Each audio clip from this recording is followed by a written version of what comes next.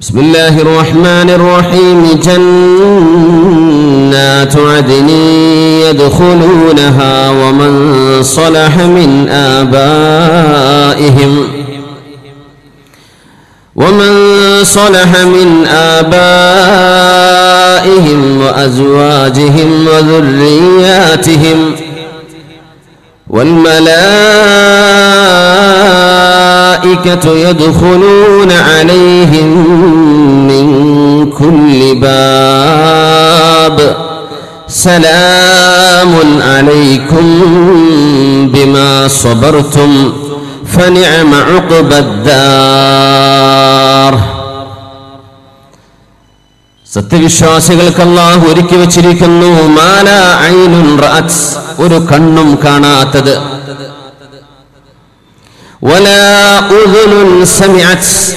ഒരു കാതും അതിനെക്കുറിച്ച് കേട്ടിട്ടില്ല.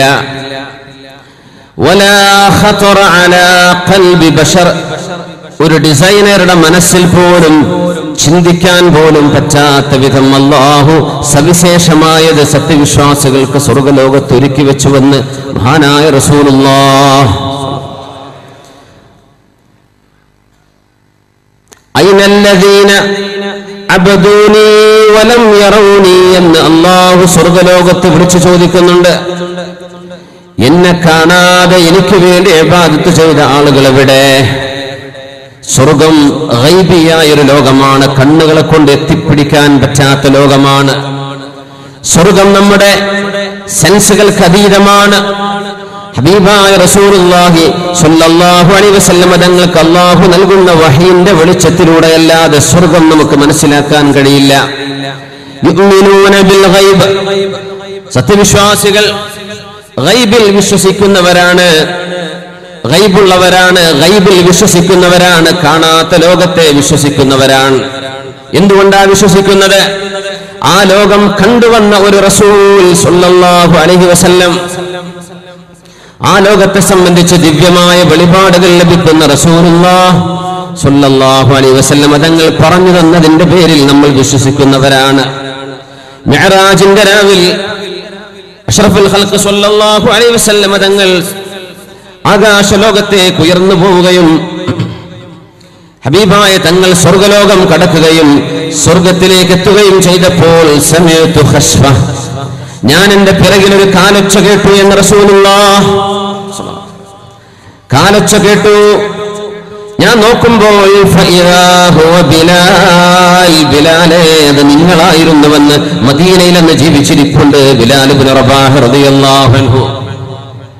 ഞാൻ നിങ്ങളവിടെ കണ്ടു ബിലാലെ. ബിലാലെ അള്ളാഹു നിങ്ങൾക്ക് നൽകുന്ന ഈ മഹാപ്രതിഫലം ബിലാൽ. ബിലാലെ എന്നെക്കാളും മുമ്പ് നിങ്ങൾ സ്വർഗത്തിൽ എത്തുമല്ലോ എത്തിയല്ലോ. അത് ഖിദ്മ. ഒരു വി ഐ പി ഗസ്റ്റ് വരുമ്പോ ഖിദ്മത്തിന്റെ ആളുകൾ ആദ്യം പോകുന്ന. എന്നിട്ട് റൂമൊക്കെ സെറ്റ് ചെയ്തിട്ട ഷെയ്ഖന്മാര് വരിക അല്ലെ? അല്ലെങ്കിൽ ഗസ്റ്റുകൾ വരിക. എന്ന പോലെ സ്വർഗത്തിലേക്ക് ആദ്യം കടക്കുന്നത് നബി തന്നെയാണ് അതുമായി നിന്ന് വൈരുദ്ധ്യമില്ല. പക്ഷേ സ്വർഗം ഒരുക്കി വെക്കാൻ ബിലാലുബിന് റബാഹ് എന്നവർ ഹബീബിന്റെ മുമ്പ് കടക്കുന്നുണ്ട് സല്ലല്ലാഹു അലൈഹി വസല്ലം. എന്തേ നിങ്ങൾ അങ്ങനെ വരാൻ കാരണം? എന്തേ നിങ്ങൾ ചെയ്യുന്ന ഏറ്റവും ശ്രേഷ്ഠമായ കർമ്മം ഏതാണ്? ഇത് പറഞ്ഞപ്പോ ബിലാൽ റളിയല്ലാഹു അൻഹു പറഞ്ഞു നബിയേ ഞാൻ എപ്പോൾ വുദൂ എടുത്തിട്ടുണ്ടോ? എപ്പോൾ വുദൂ എടുത്താലും അള്ളാഹുവിന് വേണ്ടി എനിക്ക് കഴിയുന്നത്ര സുന്നത്തുകൾ നിഷ്കരിക്കാത്ത വധുവില്ല നബിയെ ഞാൻ എപ്പോഴും വധുവിലാണ് അത് തന്നെയാണ് ബിലാലെ നിങ്ങൾക്ക് സ്വർഗപ്രവേശം വളരെ പെട്ടെന്ന് കിട്ടാൻ കാരണമെന്ന് റസൂലുള്ളാഹ്. ദുന്യാവെന്ന് സ്വർഗമെന്ന് കിട്ടി കിട്ടിപ്പോയ സന്തോഷ വാർത്ത കിട്ടിയ മഹത്തുക്കളിൽ ഒരാൾ. അഷറത്തുൽ മുബശ്ശരീനുണ്ട്.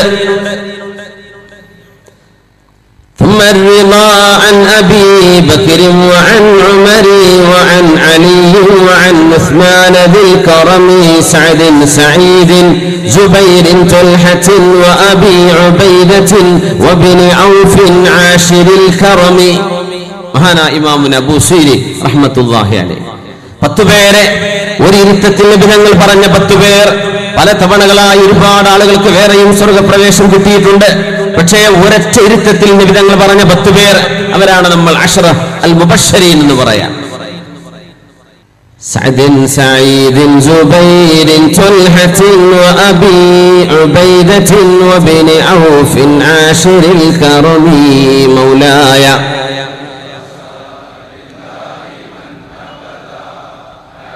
حبيبك خير الخلق كلهم ثم الرضا عن أبي بكر وعن عمر وعن علي وعن عثمان ذي الكرم مولاي. على حبيبك خير الخلق كلهم يا رب بالمصطفى بلغ مقاصدنا واغفر لنا ما مضى يا واسع الكرم مولاي على حبيبك خير الخلق كلهم പരിശുദ്ധമായ ഉഹദരണാങ്കണം കഴിഞ്ഞപ്പോ പരിശുദ്ധമായ ഉഹദിനെ സംബന്ധിച്ച് നബി ഞങ്ങൾ പറയാറുണ്ട് ഉഹദ് മലയോട് നമ്മോട് സ്നേഹമുണ്ട് നമുക്ക് ഉഹദിനോട് സ്നേഹമുണ്ടെന്ന് ഹബീബായ തങ്ങൾ പറയാറുണ്ട്. സല്ലല്ലാഹു അലൈഹി വസല്ലം. ഉഹദിന്റെ ശുഹദാക്കളിലുണ്ട് മഹാനായ അനസ് ബിൻ നദർ റളിയല്ലാഹു അൻഹു. നബി തങ്ങൾ സഅദ് വിളിച്ചിട്ട് പറഞ്ഞു ഷഹീദായി കിടക്കുന്ന അനസുബിനും നദറുണ്ടോ എന്ന് നോക്കണം. അനസുഖനും നദർ അവിടെ ബാക്കിയുണ്ടോ എന്ന് ചെന്ന് നോക്കണം. എങ്ങാനും ജീവനോടെ ബാക്കിയിരിപ്പുണ്ടെങ്കിൽ ചോദിക്കണം അനസ്? അനസുഖനും നദറേ എങ്ങനെയുണ്ട്? എന്ന് ചോദിക്കണം. എന്റെ ഒരു അസ്സലാം അലൈക്കുമെന്ന് അവരോട് പറയണം. സാദേ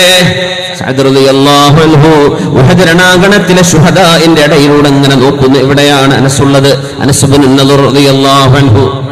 നോക്കുമ്പോൾ ഒരിടത്ത് മരണത്തോടെ മല്ലടിക്കുകയാണ് ഷഹാദത്തിന്റെ ചിറകേറി സ്വർഗലോകത്തേക്ക് പറക്കാനിരിക്കുകയാണ്. ഓടി വന്നുകൊണ്ട് ചോദിച്ചു അനസൂ അനസു അനസെന്നവരെ അസ്സലാം ഹബീബ് നിങ്ങളോട് അസ്സലാമു അലൈക്കും എന്ന് പറയുന്നുണ്ട്. അസ്സലാമു അലൈക്കും എന്ന് പറയുന്നുണ്ട് യുക്രി അസ്സലാം കൈഫ തജിദുക നിങ്ങളോട് ചോദിക്കുന്നുണ്ട് എന്തുണ്ട് വിവരമെന്ന്. എന്താണ് വിശേഷമെന്ന് ചോദിക്കുന്നുണ്ട് അനസേ. എന്താണ് നിങ്ങളുടെ വിവരം? പറയുന്നു നബിയോട് എന്റെ സലാം പറയണേ സ്വലാത്തു അലൈക യാ എന്ന് പറയണേ വ ഇന്നീല അജിതുരി ഹൽ ജന്ന വ ഇന്നീല അജിദു ഹൽ ജന്ന ഭാഗത്ത് നിന്ന് നിന്ന് എനിക്ക് സ്വർഗത്തിന്റെ വാസന വരുന്നുണ്ട് എന്ന് നബിയോട് പറയണം സാദേ. ഉഹദിൽ കിടക്കുമ്പോൾ സ്വർഗം വാസനിച്ചു പോയ സ്വഹാബികളുണ്ട്. സ്വർഗത്തിന്റെ വാസന ഉഹദിന്റെ മുറ്റത്തേക്ക് വന്നിട്ടുണ്ടെന്നാണ് അതിന്റെ അർത്ഥം സ്വർഗത്തിന്റെ വാസന ഞാൻ അറിയുന്നു നബിയോട് പറയണം. ഷഹീദാകാൻ പോകുന്ന ഒരു സുഹാബി അള്ളാഹുവിന്റെ റസൂലിനോട് പറയാൻ അറിയിച്ചു പോയി. സ്വർഗം ഞാൻ അനുഭവിച്ചു പോകുന്നു. അള്ളാഹുവേ അങ്ങോട്ടെത്താൻ ഞങ്ങൾക്കൊക്കെ തോഫീക്ക് നൽകണേ തമ്പുരാനെ. സയ്യിദ് സയ്യിദ് റളിയല്ലാഹു അൻഹു യുദ്ധത്തിലാണ്. നോമ്പുകാരനാണ്. രണ്ടു മൂന്ന് ദിവസമായി ഉറങ്ങിയിട്ട് കൂട്ടുകാരൻ പറഞ്ഞു സയ്യിദ് ഒരുപാടായില്ലേ നിങ്ങൾ ത്യാഗം ചെയ്യുന്നു? ഒന്ന് ഉറങ്ങിക്കൂടെ? കുറച്ചൊരൽപ്പം ഉറങ്ങിക്കൂടെ? യുദ്ധത്തിനൊക്കെ ഒരു ഉന്മേഷം കിട്ടാൻ വേണ്ടി കുറച്ചൊന്ന് ഉറങ്ങിക്കൂടെ? സയ്യിദ് റളിയല്ലാഹുവിനോട് കൂട്ടുകാരൻ ചോദിച്ചു. എന്നാ ഞാൻ കുറച്ച് ഉറങ്ങട്ടെ എന്ന് പറഞ്ഞു. ഉറങ്ങാൻ കിടന്നു. ഉറങ്ങാൻ കിടക്കുമ്പോ മഹാനായ സയ്യിദ് റളിയല്ലാഹു ഉറക്കത്തിൽ ഇങ്ങനെ വിളിച്ചു പറയുന്നുണ്ട് يا عيناء مرضية لا يا عيناء مرضية لا يا عيناء مرضية ഇല്ല ഇല്ല വേണ്ട വേണ്ട ഐന വേണ്ട ഐന വേണ്ട ഐന ഇത് കേട്ടപ്പോ കൂട്ടുകാരൻ തട്ടി വിളിച്ച് ചോദിച്ചു അല്ല സയ്യിദ് എന്താണ് ഈ പറയുന്നത് ആരെയാ വിളിക്കുന്നത് പെണ്ണിന്റെ പേരാണല്ലോ വിളിച്ചത് ഐന ഉമർദിയ ആരെയാണ് ഈ വിളിക്കുന്നത് കൂട്ടുകാരനോട് പറയുന്നു കൂട്ടുകാരാ. ഞാനൊരു സ്വപ്നം കണ്ടു. സ്വാലിഹീങ്ങൾ കാണുന്ന സ്വപ്നങ്ങളിൽ അർത്ഥമുണ്ട്. ഞാനൊരു സ്വപ്നം കണ്ടു. എന്റെ അരികത്തേക്ക് ഹൂരികളിൽപ്പെട്ട സ്വർഗീയ സുന്ദരിമാൽപ്പെട്ട ഒരു പെണ്ണ് കടന്നു വരുന്നു. എന്നെ കാണുന്നു എന്നോട് ചോദിക്കുന്നു ഇങ്ങോട്ട് പോരാ നേരമായില്ലേ തുഫ്തിറുഞ്ചന ഞങ്ങളുടെ അടുത്ത് വന്ന് നോമ്പ് തുറക്കുന്നില്ലേ? ആരാണ്? ഞാൻ നിങ്ങൾക്ക് വേണ്ടി അള്ളാഹു ഒരുക്കി വെച്ച സ്വർഗീയ ഹൂറിയാണ്. എന്റെ പേര് ഐനാബു മറുതിയ എന്നാണ്. ആ ഐനാബു മറുതിയെ അള്ളാവിന്റെ കണ്ണുകൊണ്ട് കാണുന്നു. ചോദിക്കുന്നു നീ എന്റെ ഭാര്യയാണെങ്കിൽ അരികത്ത് വന്നിരിക്കെ. ഇല്ല ഫിദ്ദുന്യ നിങ്ങൾ ഇപ്പോഴും ദുന്യാവിലാണ്. നിങ്ങൾ വരിച്ചിട്ടില്ല അതുകൊണ്ട് നമുക്ക് തൊടാൻ സമയമായില്ല. മൂന്ന് ദിവസം കൂടെ കാത്തിരിക്കണം. മൂന്നാമത്തെ നാൾ നിങ്ങൾ മരിക്കും. അന്ന് നോമ്പ് തുറക്കുന്നത് ഞങ്ങളുടെ അരികത്ത് വെച്ചാണ്. അവൾ പോകുമ്പോഴാണ് ഞാൻ വിളിച്ചു പറഞ്ഞത്. പോവല്ല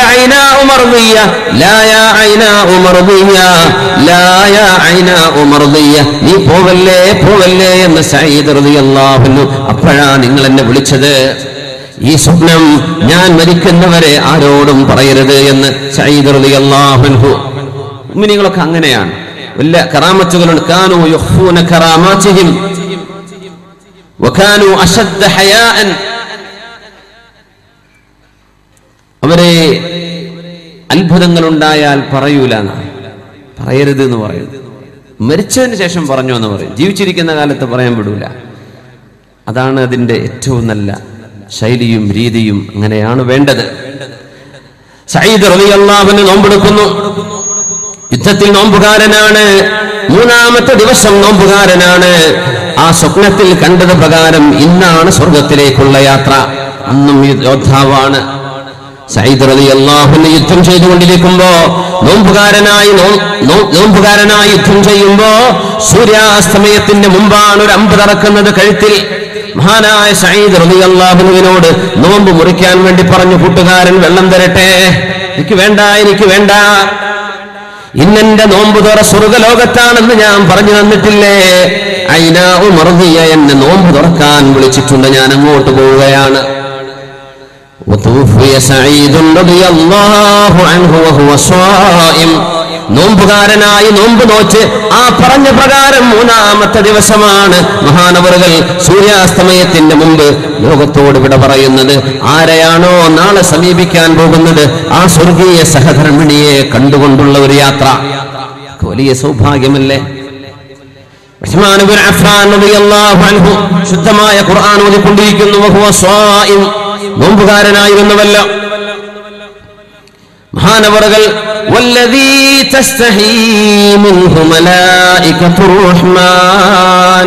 കാരുണ്യവാനായ അള്ളാഹുവിന്റെ മലക്കുകൾ പോലും നാണം കൊടുങ്ങുന്ന മഹാനായ അഫ്ഫാൻ അന്നത്തെ രാഷ്ട്രീയ കാപാലികന്മാർ മഹാനവറുകളുടെ വീട്ടിലേക്ക് ഇരച്ചു കയറി വരുമ്പോ മഹാനവറുകളുടെ പ്രിയപ്പെട്ട ഭാര്യ അവിടുന്ന് പറയുകയുണ്ടായി. അള്ളാഹുവിന്റെ ഹബീബിന്റെ കൂടെ ജീവിച്ച് നടന്ന ഹബീബിന്റെ രണ്ട് പെൺമക്കളെ കല്യാണം ചെയ്തു കൊടുത്ത ഹബീബിന്റെ സുഹാബിയെ നിങ്ങൾ കൊല്ലുകയാണോ ഉസ്മാൻ തങ്ങളോട് സുഹാബികൾ പറഞ്ഞു ഉസ്മാൻ എന്നവരെ നിങ്ങളൊരു ചെറിയ സൂചന തന്നാൽ ഞങ്ങൾ നിങ്ങളോടൊപ്പം പടപുരുടാം യുദ്ധം ചെയ്യാം. നിങ്ങൾക്ക് പ്രതിരോധം തീർക്കാം പ്രൊട്ടക്ഷൻ തരാം. ഉസ്മാൻ തങ്ങൾ പറഞ്ഞെന്താണെന്നറിയോ എനിക്ക് വേണ്ടി നിങ്ങൾ ആരും മരിക്കണ്ട. റഅയ്തു റസൂലല്ലാഹ് സ്വല്ലല്ലാഹു അലൈഹി വസല്ലം ഫിൽ മനാം. ഹബീബിനെ ഞാൻ ഇന്നലെ കണ്ടു. എന്റെ ഹബീബ് എന്നോട് ചോദിച്ചു തുഫ്തിറു ഇൻദനൽ യൗം. നിങ്ങളുടെ നോമ്പെടുത്തിട്ട് ആ നോമ്പിന് നോമ്പ് മുറിക്കുന്നത് എന്റെ അരികത്താവാൻ നിങ്ങൾ ഇഷ്ടപ്പെടുന്നില്ലേ? എന്റെ അരികത്തേക്ക് പോരുന്നില്ലേ? നോമ്പ് മുറിക്കാൻ. നോമ്പുകാരനായ അൻഹുവിന്റെ കഴുത്തിലേക്ക് കഠാര ഇറങ്ങുമ്പോ മഹാനായ ഉസ്മാൻ അൻഹു കുതിച്ചത് എന്റെ ഹബീബിന്റെ കൂടെ നോമ്പ് തുറക്കാൻ ഞാൻ പോവുകയാണ്. എന്തിന് വിഷമിക്കണം? സ്വർഗം കണ്ടുകൊണ്ടുപോയി ഉസ്മാൻ റളിയല്ലാഹു അൻഹു അബൂ തൽഹ റളിയല്ലാഹു അൻഹുവിന്റെ പ്രിയപ്പെട്ട ഭാര്യയുണ്ട് ഉമ്മു സുലൈം ബീവി. പ്രിയപ്പെട്ട കൊച്ചുമോൻ മരണപ്പെട്ടപ്പോഴാണ് ചെറിയ കുഞ്ഞുമോൻ മരണപ്പെട്ടപ്പോഴാണ് സ്വന്തം ഭർത്താവിനോട് പറയാ അറിയിക്കാതെ വിഷമിപ്പിക്കാതെ ക്ഷമയോടുകൂടെ ഒരു ഉമ്മാക്ക് ചെയ്യാൻ പറ്റുന്നതിന്റെ പരമാവധി. കുഞ്ഞു മരിച്ചാൽ എങ്ങനെയായിരിക്കും? ഭർത്താവിനെ അറിയിക്കാതെ ക്ഷമിച്ച് ആ രാത്രിയിൽ ഭർത്താവിന്റെ കൂടെ ക്ഷയിച്ച് പിറ്റേന്ന് രാവിലെയാണ് മോൻ മരിച്ചു വിവരം പറഞ്ഞത് ചരിത്രം നമുക്കറിയാം. റസൂലുള്ളാഹി പറഞ്ഞുവല്ലോ ഞാൻ കണ്ടു ഞാൻ കണ്ടു പ്രിയപ്പെട്ട ഭാര്യയെ കണ്ടു. എന്താണ് ഇവിടെ പ്രത്യേകത? നന്നായി ക്ഷമിച്ചിരുന്ന അള്ളാഹുവിനെ ബാധത്ത് ചെയ്തിരുന്ന ഒരു മഹദിയെ സ്വർഗലോകത്ത് വെച്ച് കണ്ടു. അവർ ഭൂമിയിൽ ജീവിച്ചിരിക്കെ തന്നെ. വലിയ സൗഭാഗ്യങ്ങളല്ലേ? വലിയ ഭാഗ്യമല്ലേ? ഇവിടുന്ന് അറിഞ്ഞു ഡെസ്റ്റിനേഷൻ സ്വർഗമാണ്.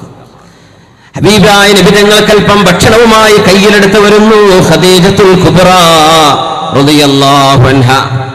ഹബീബിന് വേണ്ടി ഭക്ഷണം കൊണ്ടുവരികയാണ്. അള്ളാഹുവിന്റെ റസൂലിന് വേണ്ടി ഭക്ഷണം കയ്യിൽ കറിയാണോ അല്ല ഭക്ഷണമാണോ റിവായത്തുകളിൽ വ്യത്യാസമുണ്ട്. ബീവിയുടെ കയ്യിലൊരു ഭക്ഷണമുണ്ട് നബിക്ക്. ജിബ്രീൽ അലൈഹി എന്നിട്ട് പറഞ്ഞു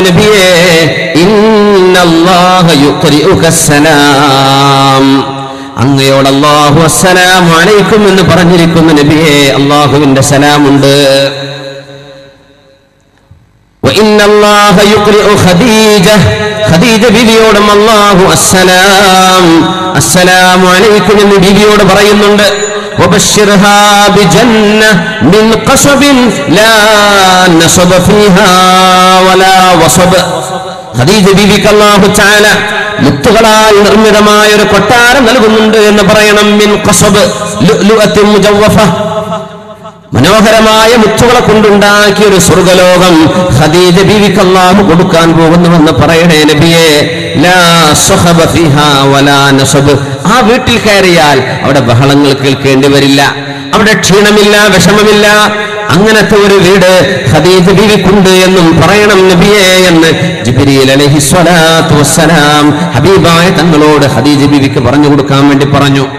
മഹതിമാരെ അള്ളാഹു സുബാനഹുവ ചാലാക്ക് വേണ്ടി ജീവിച്ചവരെ കാത്തിരിക്കുന്നത് റബ്ബിന്റെ സ്വർഗലോകമാണ് فيها ما لا عين رأت ولا أذن سمعت ولا خطر على قلب بشر حبيباي رسول الله صلى الله عليه وسلم ഹബീബായ തങ്ങൾ സദസ്സിൽ ഇങ്ങനെ ഇരിക്കുമ്പോഴാണ് പെട്ടെന്ന് നിബിധങ്ങൾ മുഖം വലിക്കുന്നത് മുഖം വലി മുഖത്തേക്ക് എന്തെങ്കിലും വരുമ്പോഴേക്കും മുഖം നമ്മൾ രക്ഷിക്കാൻ വേണ്ടി മാറ്റുന്ന പോലെ ഹബീബായ തങ്ങൾ അങ്ങനെ മാറ്റിയപ്പോ സുഹാബികൾ ചോദിച്ചു യാ നബിയെ എന്തേ അങ്ങനെ ചെയ്യാൻ കാരണം? എന്തു പറ്റി?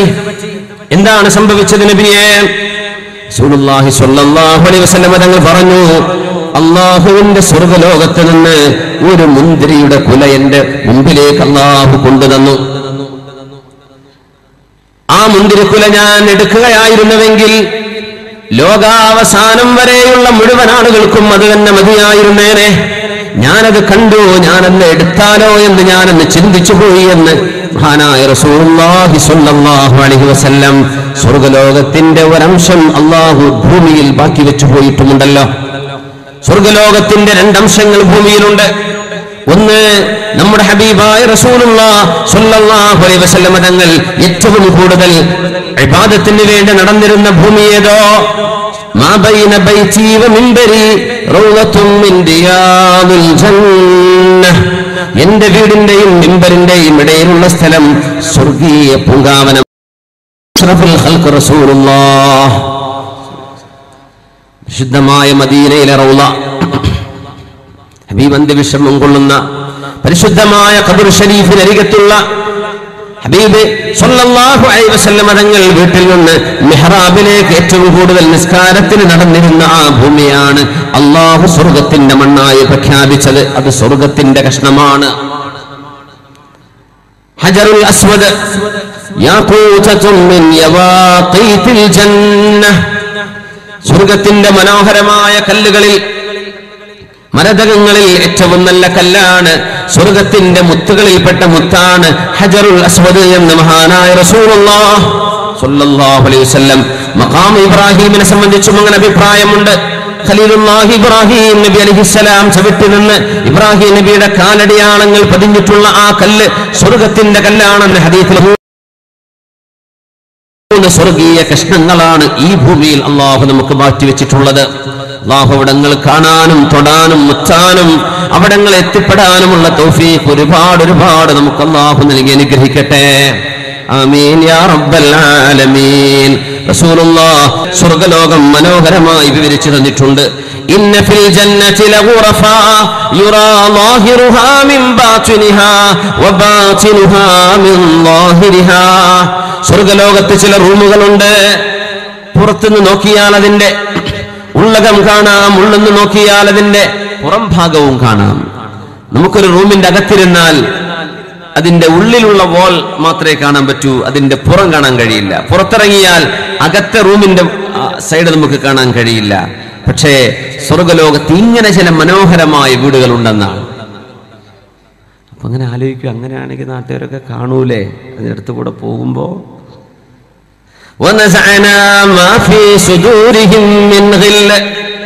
അവിടെ ആർക്കും അസൂയയില്ല പകയില്ല എത്തിനോട്ടമില്ല ആരെയും വിഷമിപ്പിക്കലില്ല. അങ്ങനൊന്നും അവിടെ ഉണ്ടാവുന്നില്ല. ഇന്ന ഫിൽ ജന്നതി ലാഹിറുഹാ മിൻ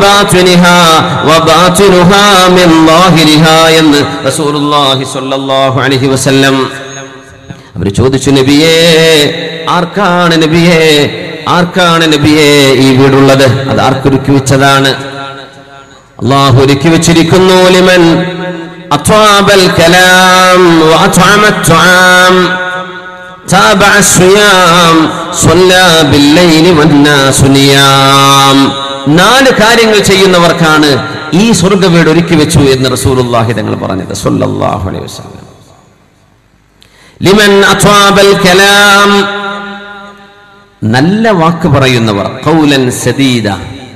പരുഷമായ വാക്ക് ഉപയോഗിക്കാത്ത പരുഷമല്ലാത്ത വാക്ക് ഉപയോഗിക്കുന്നവർ. ലിമൻ അത്വയബൽ കലാം. അലാനൽ കലാം അങ്ങനെയും വന്നു ഹദീസിൽ. ലിമൻ കലാം അങ്ങനെയും വന്നു. ഏറ്റവും നല്ല വാക്ക് പറയാ. സത്യവിശ്വാസികളുടെ വാക്കുകൾ അങ്ങനെയാവണമെന്നാണ്. നല്ലതേ പറയാവൂ അത് സൗമ്യമായേ പറയാവൂ. അഹങ്കാരത്തിന്റെ വാക്കുകൾ ഉപയോഗിച്ചുകൂടാ പരുഷമായി സംസാരിച്ചുകൂടാ അങ്ങനെയാണ്. അത്വയബൽ കലാം. ലിമൻ കലാം. സംസാരം വളരെ മൃദുവായി നല്ല നിലയ്ക്ക് ഹബീബായ തങ്ങൾ പറഞ്ഞ പോലെ.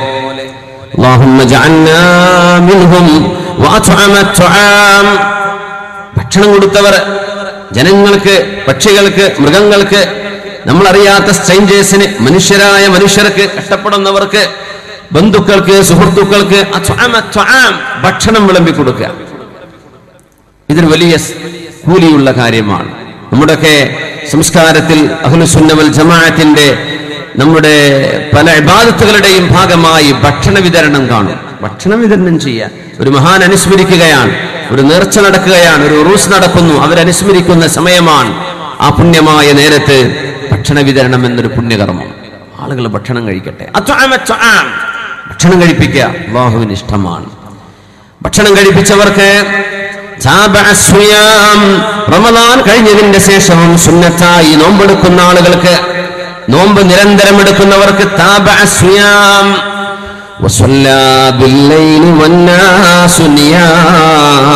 ജനങ്ങളൊക്കെ കിടന്നുറങ്ങുമ്പോൾ എഴുന്നേറ്റ് നിസ്കരിക്കുന്നവർക്കും അള്ളാഹു ഒരുക്കി വെച്ചു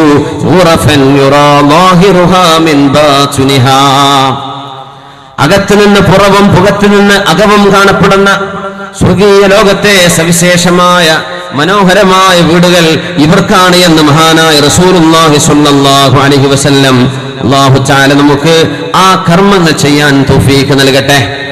നാല് വിഷയമാണ് ഇവിടെ പറഞ്ഞത്. ഒന്ന് അത്വാബൽ കലാം അലാനൽ കലാം അല്ലെങ്കിൽ ത്വയ്യബൽ കലാം സംസാരം മൃദുവാക്കുക. ചെയ്യാൻ വല്ല പ്രയാസമുണ്ടോ? ചൂടാവാണ്ടിരിക്കാം ചൂട് ആർക്കും ഇഷ്ടമല്ല പിന്നെ ഇപ്പം എന്തിനാ ചൂടാന്ന് അപ്പോ കാര്യങ്ങൾ വളരെ മനോഹരമായി സൗമ്യമായി പറഞ്ഞു കൊടുക്കുക. റമദാനൊക്കെയാണ് നോമ്പ് തുറപ്പിക്കുന്നു. റമദാൻ കഴിഞ്ഞ് ഒരു ഫാമിലി ഗെറ്റ് ടുഗദർ ബന്ധുക്കളൊക്കെ വിളിച്ചിട്ടൊരു ഭക്ഷണം അയൽവാസികൾക്കൊക്കെ ഒരു ഭക്ഷണം. കല്യാണവും സൽക്കാരം ഉണ്ടായിട്ടുണ്ട് മാത്രം ഭക്ഷണം കൊടുക്കണമെന്നുണ്ടോ? ഇല്ല. കഴിവുള്ള ആളുകളൊക്കെ ആണെങ്കിൽ പാവപ്പെട്ടവരൊക്കെ ഉണ്ടെങ്കിൽ പ്രത്യേകിച്ചും അവരെയൊക്കെ ഒന്ന് വിളിച്ചൊരു ഭക്ഷണം അത്വഅമ ത്വആം. താബഅ الصيام أفضل الصيام صيام داود صيام داود عليه السلام كان يصوم يوما ويفطر يوما അള്ളാഹുവിന് ഇഷ്ടമുള്ള നോമ്പ് ദാവൂദ് നബിയുടെ നോമ്പായിരുന്നു യസൂമു യൗമൻ വയുഫ്തിറു യൗമാ അവർ സുന്നത്തായി നോമ്പ് അനുഷ്ഠിക്കുമ്പോ ഒരു ദിവസം എടുക്കും അടുത്ത ദിവസമില്ല പിറ്റേന്നുണ്ട് പിറ്റേന്നില്ല. അങ്ങനെ ഓൾട്ടർനേറ്റീവ് ഡേയ്സിൽ നോമ്പെടുക്കുന്ന ശീലം ദാഹൂദ് നബിക്കുണ്ട് അത് അള്ളാഹുവിന് ഇഷ്ടമാണ് എന്ന് മഹാനായ അലൈഹി വസല്ലം റമദാൻ കഴിഞ്ഞാലും നോമ്പെടുക്കുക. പ്രത്യേകിച്ച് തിങ്കളാഴ്ചയും വ്യാഴാഴ്ച ദിവസങ്ങളിൽ അയ്യാമുൽ ബീമിന്റെ അറബ് മാസം പതിമൂന്ന് പതിനാല് പതിനഞ്ച് ദിവസങ്ങളിൽ പുണ്യമായി വരുന്ന മറ്റു സവിശേഷമായ ദിനങ്ങളിലൊക്കെ സുന്നത്ത് നോമ്പെടുത്തുകൊണ്ടിരിക്കുക. അവർക്കും ഈ സ്വർഗലോകത്ത് വീടുണ്ട്. എല്ലാവരും കടന്നുറങ്ങുമ്പോൾ എഴുന്നേറ്റ് രണ്ട് അല്ലാഹുവിന് വേണ്ടി തഹജു നിസ്കരിക്കുന്നവർ ഖിയാമുൽ നിസ്കരിക്കുന്നവരെ അവർക്ക് അള്ളാഹു ഒരുക്കി വെച്ചിരിക്കുകയാണ് സവിശേഷമായത്. കാരണം ജനങ്ങളെല്ലാവരും ചെയ്യുന്നതല്ല ഇത്.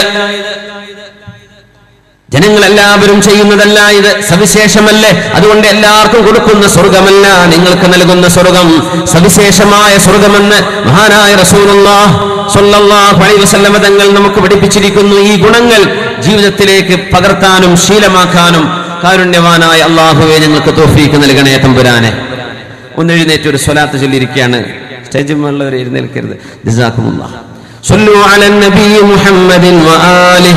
اللهم صل على سيدنا محمد وعلى آل سيدنا محمد وبارك وسلم عليه.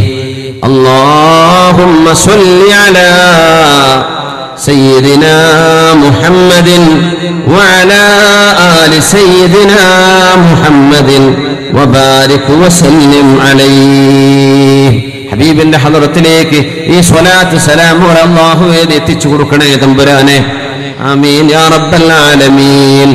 ഇമാം ബുഖാരി തങ്ങളും മുസ്ലിം തങ്ങളും ഉദ്ധരിക്കുന്നു അന്ന റസൂലല്ലാഹ് സ്വല്ലല്ലാഹു അലൈഹി വസല്ലമ ഖാൽ ഇന്ന അഹ്ലൽ ജന്ന ലയതറാഊന അഹ്ലൽ ഗുറഫി മിൻ ഫൗഖിഹിം കമാ യതറാഊന അൽ കൗകബ ദുർരി. സ്വർഗലോകത്ത് തട്ടുകളുണ്ട് ഇന്നലിൽ ജന്നത്തി മിഅത ദറജ സ്വർഗത്തിന് നൂറ് ലെവലുകളുണ്ട് എന്ന് ഹബീബായ തങ്ങൾ പറഞ്ഞു സല്ലല്ലാഹു അലൈഹി വസല്ലം. അതൊരു മൾട്ടി സ്റ്റോറി ബിൽഡിംഗ് ആയിട്ട് സങ്കല്പിക്കരുത്. കുല്ലി വാഹിദിൻ ഓരോന്നിനും ഇടയിലുള്ള വ്യത്യാസം. ഭൂമിക്കും ആകാശത്തിനും ഇടയിലെ വ്യത്യാസം പോലെ. ഖംസ് മസീറത്തു ഖംസുമിഅത്തി ആം. മുത്തനബി തങ്ങൾ പറഞ്ഞത് ആകാശഭൂമികൾക്കിടയിലുള്ള ദൂരം അഞ്ഞൂറ് വർഷത്തെ വഴി ദൂരം എന്നാണ് അത് എങ്ങനെയെന്ന് പറഞ്ഞില്ല. നമ്മൾ സങ്കല്പിക്കുകയാണ് പ്രകാശവേഗതയിലൊക്കെ പോയാൽ അഞ്ഞൂറ് കൊല്ലത്തെ വഴി ദൂരം എന്ന് സയൻസ് എന്ന് പറയുന്നുണ്ട്. ഏതായിരുന്നാലും ദ ലിമിറ്റ്സ് ഓഫ് സ്റ്റാർസ് നമുക്ക് എത്തിപ്പെടാൻ പറ്റിയിട്ടില്ല. അത്രയുമുള്ള അത്രയുമുള്ള വ്യത്യാസം ഓരോ ലെവലിനും ഉണ്ടെന്നും അങ്ങനത്തെ നൂറ് തട്ടുകളാണ് സ്വർഗത്തിനെന്ന്. സത്യവിശ്വാസ സ്വർഗത്തിൽ കടന്നാൽ സങ്കടപ്പെടുന്ന ഒരു വിഷയമുള്ളൂ ഒരൊറ്റ വിഷയം. നമ്മളൊക്കെ വിചാരിക്കൂലേ വെറുതെ കടന്നിട്ടാ മതിയായിരുന്നു റബ്ബേ. ഇപ്പൊ അത്രയുള്ളൂ വലിയ മോഹമൊന്നുമില്ല. സ്വഹാബികളൊക്കെ അങ്ങനെ ചിന്തിച്ചിട്ടുണ്ട്. നമ്മളതിനെ കുറ്റപ്പെടുത്താനും വയ്യ. അബ്ദുല്ലാഹിന്റെ ദർശനം നടന്നുകൊണ്ടിരിക്കുമ്പോൾ മഹാനവറുകൾ ക്ലാസ് എടുത്തുകൊണ്ടിരിക്കുമ്പോൾ ഒരാൾ പറഞ്ഞു ഇബ്നു മസ്ഊദ് എന്നവരോട് ഇബ്നു മസ്ഊദ് എന്ന അള്ളാഹുവിന്റെ ഹബീബ് ഏതൊരാളിൻ കാലിന്റെ അടിഭാഗം അള്ളാഹുവിന്റെ അറസിൽ തട്ടി നിൽക്കുന്നുവെന്ന് പറഞ്ഞു ആ മഹാനാണ് അബ്ദുല്ലാഹുബിൻ റളിയല്ലാഹു അൻഹു. ഹബീബിന്റെ കാത്തിബുൽ വഹയാണ് ഹബീബിന്റെ അമീനാണ്. അവരിങ്ങനെ ക്ലാസ് എടുക്കുമ്പോ ഒരാൾ പറഞ്ഞു അള്ളാഹു അള്ളാഹുവിന്റെ മുമ്പിലേക്ക് ചെല്ലുമ്പോ അസ്ഹാബുൽ യമീനിൽ പെടാനല്ല എന്റെ ആഗ്രഹം. എനിക്ക് മുഖർബീങ്ങളിൽ പെടണം. ഉലായിക്കൽ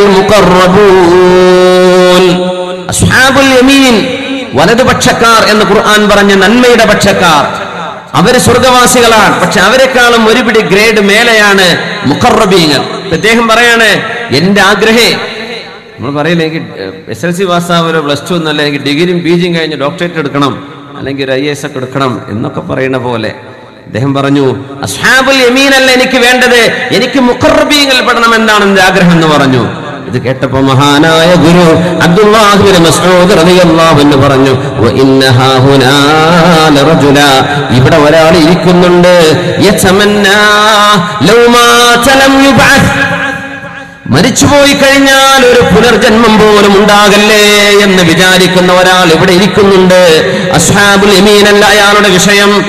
മുഖറബീങ്ങൾ പെടണമെന്നല്ല വിഷയം. എനിക്ക് മരണശേഷം ഒരു പുനർജന്മം തന്നെ ഇല്ലായിരുന്നെങ്കിൽ അള്ളാഹുവിനെ കണ്ടുമുട്ടുന്ന കാലം ഓർക്കാൻ വയ്യ എന്ന്. മരിച്ചു കഴിഞ്ഞാൽ അതിന്മ തീർന്നു എന്ന് അള്ളാഹു പറയുകയാണെങ്കിൽ എന്ന് കൊതിക്കുന്ന ഒരാൾ ഇവരിയ്ക്കുന്നുണ്ട് സ്വന്തത്തെ കുറിച്ച് പറയാണ് എന്റെ ആഗ്രഹം. ഞാൻ അതാണ് ആഗ്രഹിക്കുന്നത്. മഹാനായ അള്ളാഹുവിന്റെ സാഹിതും ആബിദീങ്ങളുമായ മഹത്തുക്കളൊക്കെ അങ്ങനെ ആലോചിച്ചു പോയിട്ടുണ്ട്. മഹാനായ സുഫിയാനു ആയിരം വർഷം കഴിഞ്ഞ് നരകത്തിൽ നിന്ന് മോചനം കിട്ടി സ്വർഗത്തിലേക്ക് വരുന്ന ഒരാളിന്റെ കഥ പറഞ്ഞു കൊടുക്കുമ്പോ മഹാനവകൾ പറഞ്ഞു "വതമന്നാ അർജു ഹുവ. ആയിരം കൊല്ലം നരകത്തിൽ കടന്ന് സ്വർഗത്തിലേക്ക് വരുന്ന ആൾ ഞാനായിരുന്നെങ്കിൽ എന്ന് കൊതിക്കുന്നു എന്ന് അൻഹു. എന്തേ പറയാൻ കാരണം എന്നറിയോ? അള്ളാഹുവിന്റെ നരകത്തിൽ അയാൾ ശാശ്വതനായി കിടക്കുന്നില്ലല്ലോ. ആയിരം കൊല്ലം കഴിഞ്ഞാൽ എന്റെ സ്വർഗം അള്ളാഹു നൽകുന്നുണ്ടല്ലോ. അത്രയെങ്കിലും എനിക്ക് കിട്ടിയിരുന്നെങ്കിൽ. ഇന്ന് സ്വർഗത്തിൽ ടിക്കറ്റ് മുറിച്ചു കൊടുത്തു കഴിഞ്ഞു. ഉറപ്പാണ് പോയിക്കോളി. സുഹാനല്ലാ ഹബീബായ നബിയും സഹാബികളും അങ്ങനെ ചിന്തിക്കുമായിരുന്നില്ല. വളരെ പേടിയിലായിരുന്ന വിഷമത്തിലായിരുന്നവരെ. മുബശ്ശരീങ്ങളിൽപ്പെട്ട മുബശ്ശറും ബിൽ ജന്നയല്ലേ ഉമർ ബിൻ ഖത്താബ് റളിയല്ലാഹു അൻഹു. ഹബീബായ തങ്ങൾ പറയുന്നുണ്ട് ദഖൽതുൽ ജന്ന സ്വർഗത്തിലേക്ക് ഞാൻ പ്രവേശിച്ചു. സ്വർണത്തിന്റെ ഒരു കൊട്ടാരമുണ്ട് അവിടെ സ്വർണത്തിന്റെ ഒരു കൊട്ടാരം ഞാൻ കണ്ടു അവിടെ. ഞാൻ ചോദിച്ചു ലിമൻ ഹാദൽ ഖസർ ആർക്കുള്ളതാണ് ഈ കൊട്ടാരം? ആരുടേതാണിത്? ഇത് ഖുറൈശികളിൽപ്പെട്ട ഒരു യുവാവിനുള്ളതാണ് ഒരു ചെറുപ്പക്കാരനുള്ളതാണ്. ഖുറൈശികളിൽ ഒരു യുവാവിനാണ്. അനഹു. ഞാൻ ആലോചിച്ചു പോയി ഒരു പക്ഷേ എനിക്കുള്ളതാവാം. അഫ്ദലുൽ ബഷറല്ലേ ഖൈറുൽ ഖൽഖല്ലേ അള്ളാഹുവിന്റെ മെഹബൂബല്ലേ ഹബീബ് ചിന്തിച്ചു പോയി എനിക്കുള്ളതാണോ എന്ന്. ആരാണ്? ആ ഖുറൈശി ചെറുപ്പക്കാരൻ എന്ന് ഞാൻ ചോദിച്ചു. കാലു അവർ പറഞ്ഞു ഇത് ഖത്താബിന്റെ മകൻ ഖത്താബ് എന്ന അവർക്കുള്ളതാണ് എന്ന് എന്നോട് പറഞ്ഞു.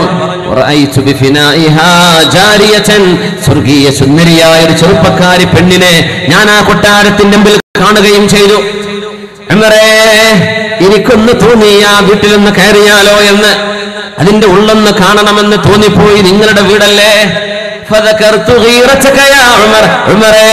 നിങ്ങൾ വല്ലാത്ത ആത്മീയമായ അഭിമാനബോധമുള്ളവരല്ലയോ? ഞാൻ ആ കയറിയത് നിങ്ങൾക്ക് അങ്ങ് ഇഷ്ടപ്പെട്ടില്ലെങ്കിലോ എന്ന് വിചാരിച്ച് ഞാൻ കയറിയില്ല ഉമറേ എന്ന് പറഞ്ഞപ്പോഴാണ് കരഞ്ഞുകൊണ്ട് ഫാറൂഖ് തങ്ങൾ പറഞ്ഞത് എന്റെ ഹബീബായ നബിയേ അങ്ങയോട് എനിക്ക് ദേഷ്യം വരുമോ നബിയെ? ഒന്ന് കയറിക്കൂടായിരുന്നോ നബിയെ എന്റെ ആ വീട്ടിലേക്ക്? മഹാനായ ഫാറൂഖ് അൻഹു പറയുമായിരുന്നു ലൈസനീ ഷജറതൻ തുഅലദ് ഞാൻ കുതിച്ചു പോവുകയാണ് ഭൂമിയിൽ.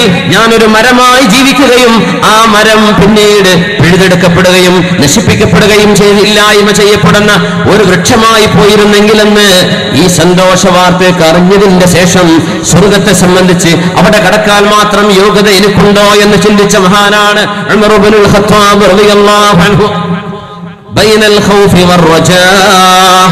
ഈ പേടിയും ഭയവും എന്നാൽ അള്ളാഹുവിന്റെ റഹ്മത്തിൽ പ്രതീക്ഷയും സ്വർഗലോകത്ത് നൂറ് ലെവലുകളാണെന്നാണ് നമ്മൾ ചർച്ച ചെയ്തുകൊണ്ടിരിക്കുന്നത്. സ്വർഗലോകത്ത് ഒരാൾ കടന്നാൽ ലാ യതഹസ്സറു അലാ ഷൈഇൻ. സ്വർഗത്തിൽ കിടക്കുന്നവർക്ക് പിന്നെ സങ്കടം വരുന്ന ഒരു വിഷയമേ ഉള്ളൂ. ഒരൊറ്റ വിഷയം. എങ്ങനെ? പടച്ചോനെ. ഞാനിപ്പോ മൂന്നാം തട്ടിലായി പോയല്ലോ. റബ്ബെ ഇതിന്റെ മെയ്തിഞ്ഞ് തൊണ്ണൂറ്റേഴ് തട്ട് വേറെ കിടക്കാണ്. അള്ളാഹുവെ ഞാൻ ആ ദുഹാനസ്കാര രണ്ടറക്കായത്ത് എന്നും നിസ്കരിച്ചിരുന്നുവെങ്കിൽ ആ സുന്നത്തായ നോമ്പ് ഞാൻ എല്ലാ തിങ്കളാഴ്ചയും എല്ലാ വ്യാഴാഴ്ചയും എടുത്തിരുന്നുവെങ്കിൽ പടച്ചവനെ. രാത്രി നിങ്ങൾ അവസാനം നിസ്കരിക്കുന്നത് വിത്തറാകണേ എന്ന് മുത്തഹബീബ് പറയുകയും അത് വാജിബാണെന്ന് അബൂ ഹനീഫ റഹ്മത്തുള്ളാഹി അലൈഹി സ്വന്തം മദ്ഹബിൽ സ്ഥാപിക്കുകയും പ്രബലമായ സുന്നത്തായി ഇമാമുന ഷാഫി തങ്ങൾ ഗണിക്കുകയും ചെയ്ത ആ ഒരു പവിത്ര നിസ്കാരം ഒരു റക്കാത്തെങ്കിലും ഉറങ്ങുന്നതിന്റെ മുമ്പ് സുബഹിക്ക് മുമ്പ് അവസാനത്തെ റക്കാത്ത് ഒരു വിത്ര നിസ്കാരമാക്കിയിരുന്നെങ്കിൽ ഒരു നന്മ ഞാൻ ചെയ്തിരുന്നുവെങ്കിൽ അള്ളാഹുവേ എനിക്ക് ഈ മൂന്നിൽ നിന്ന് ഒരു ഇരുപത്തേഴിലേക്ക് എത്താൻ പറ്റുമായിരുന്നല്ലോ. സ്വർഗത്തിലെത്തിയാൽ അങ്ങനെ ഒരു മനുഷ്യൻ സങ്കടപ്പെട്ടു പോകുമെന്നാണ്. സ്വർഗവാസികളെ സങ്കടം പിന്നെ അതായിരിക്കും. നമ്മൾ വെറുതെ പറയണം അവിടെ കയറിയാൽ നമുക്ക് വേറെ സങ്കടമൊന്നും ഉണ്ടാവില്ല. ഗൾഫിക്ക് പോകാൻ ആദ്യം എന്താ പറയാ? ഒരു ബക്കാല വിസ ആണെങ്കിൽ തിരക്കേടില്ല. ഒരു വിസ കിട്ടിയാൽ മതി. ബാക്കിയൊക്കെ ഞാൻ അങ്ങനെ ഒരു വിസ സംഘടിപ്പിച്ചു കൊടുക്കുന്നു സൂപ്പർ മാർക്കറ്റിൽ റഹ്മാനായ റബ്ബേ പതിനാല് മണിക്കൂർ ജോലിയല്ലേ? ശമ്പളം എണ്ണൂറ്. റഹ്മാനായ റബ്ബേ എന്റെ അത്ര പോലും പഠിച്ചിട്ടില്ലാത്തൊരു സാധു ആകെ എട്ട് മണിക്കൂർ ജോലി. ഒരു അധ്വാനമില്ല. ലീവ്. ഒരു കൊല്ലം കഴിയുമ്പോൾ ടിക്കറ്റ് റഹ്മാനായ റബ്ബേ ഞാനിപ്പോൾ വന്നത് വല്ല അബദ്ധമായി പോയല്ലോ.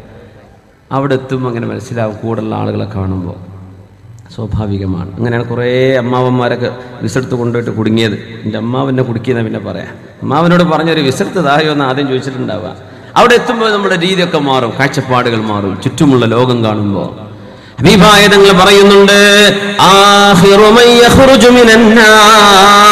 നരകത്തിൽ നിന്ന് അവസാനമായി രക്ഷപ്പെടുന്നവരാൽ ഹബീബായ സല്ലല്ലാഹു അലൈഹി വസല്ലം തങ്ങൾ പറഞ്ഞു ആ മനുഷ്യൻ സിറാത്ത് കടന്നിങ്ങനെ കടന്നു വരുമ്പോ സ്വർഗത്തിൽ അവസാനം കടക്കുന്ന ഒരാളിന്റെ കഥ പറഞ്ഞിട്ടുള്ള നിബിതങ്ങൾ സല്ലല്ലാഹു അലൈഹി വസല്ലം. വളരെ കുറഞ്ഞ അമലുകളെ കയ്യിലുള്ളൂ. അമലുകളല്ലാതെ മറ്റൊന്നും നമ്മൾ രക്ഷപ്പെടുത്തുന്നില്ലല്ലോ. ആ സമയം സുറാത്തിന്റെ മീതെ കടന്നു പോകുമ്പോൾ സുറാത്ത് എന്ന പാലം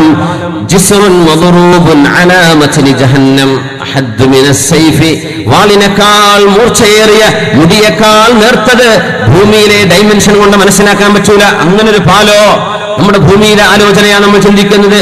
നാല് ടയർ പോകാൻ സ്ഥലം വേണ്ട എന്ന് ചിന്തിക്കും. ഇത് ആഹ്റത്തിന്റെ ഡൈമെൻഷൻസ് ആണ്. നിമിതങ്ങൾ പറഞ്ഞു ആ മൂർച്ചയേറിയ വാൾ വാൾ പോലെ നിൽക്കുന്ന ആ പാലം അല്ലാ ഒരുക്കി വെച്ചിട്ടുള്ളത് അലാമത്തിന് ജഹന്നം നരകത്തിന്റെ വീതയാണ് നരകമാണെങ്കിലോ ഇരുട്ടാണ്. ഔ കഥ അൽഫാൻ. അള്ളാഹു നരകത്തെ ആയിരം വർഷം കത്തിച്ചു എന്ന് ഫാറൂഖ് റളിയല്ലാഹുവിനോട് പറഞ്ഞു കൊടുക്കാൻ വിധങ്ങൾ അള്ളാഹുവിന്റെ നരകത്തിന്റെ നിറം ഇന്ന് കറുപ്പാണ്. ഇരുട്ടാണെന്നാണ് നരകം ഇരുട്ടാണ്. അത് കടന്നു പോകാൻ വെളിച്ചം വേണം ഫാലത്തിൽ വെളിച്ചം വേണം. നരകത്തിന്റെ ചൂട് ഭൂമിയിലേതിനെക്കാളും എഴുപതോ അതിലേറെയോ ഇരട്ടി ചൂടുണ്ട് എന്ന് നബി തന്നെ പറഞ്ഞിട്ടുണ്ട് അലൈഹി വസല്ലം. ഉമർ തങ്ങൾ കരഞ്ഞുകൊണ്ട് പറഞ്ഞു നബിയേ ഭൂമിയിലെ ചൂട് തന്നെ മതിയായിരുന്നല്ലോ. ദുന്യാവിലെ തീ തന്നെ ധാരാളമല്ലേ നബിയെ? ഇതിനെക്കാളും എഴുപതിരട്ടി ചൂടാണോ നരകത്തിന്റേത് നമ്മൾ അറിയണം മനുഷ്യനായി പടച്ചുവിട്ട് ചിന്തിക്കാനുള്ള ബുദ്ധി കൊടുത്ത് കാര്യങ്ങൾ മനസ്സിലാക്കാനുള്ള റിസോഴ്സുകൾ അള്ളാഹു കൊടുത്ത് വിശുദ്ധ ഖുർആാനും ഹദീഫും കൊടുത്ത് വിളമാന് വിസ്തരിച്ചു കൊടുത്ത് പഠിക്കാനും അറിയാനും സമയം കൊടുത്ത് ഇവിടെ വന്നതിന്റെ ലക്ഷ്യമുണ്ട് ഇത്. ഇത് കളിച്ചു തീർക്കാനുള്ള ലോകമല്ല എന്ന് അള്ളാഹു അറിയിച്ചു കൊടുത്തതിന്റെ ശേഷം ഇത് കളിയാണ്.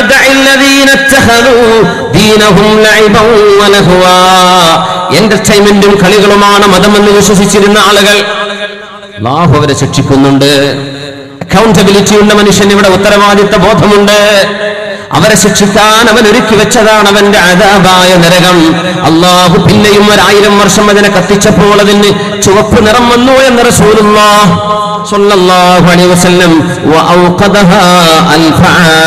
വീണ്ടും അള്ളാഹു നരകത്തെ കത്തിച്ചു. ഒരായിരം കൊല്ലം വീണ്ടും ചൂടാക്കാൻ എന്നിട്ട് നരകത്തിന് വെളുത്ത നിറം വന്നു എന്ന് റസൂലുള്ളാഹി സ്വല്ലല്ലാഹു അലൈഹി വസല്ലം ഒരായിരം വർഷം പിന്നെയും നരകത്തെ അള്ളാഹു ചൂടാക്കുകയും നരകം കറുത്തുപോയി ഉണരെ നരകം ഇരുട്ടുള്ളതും കറുത്തതുമാണ് എന്ന് റസൂലുള്ളാഹി സ്വല്ലല്ലാഹു അലൈഹി വസല്ലം അതിന്റെ മീതയാണ് ഈ സുറാത്ത് കിടക്കുന്നത്. ആ പാലത്തിലൂടെയാണ് കടന്നു പോകാനുള്ളത് ആ നേരം ഞങ്ങൾക്ക് എളുപ്പമാക്കണേ തമ്പുരാനെ.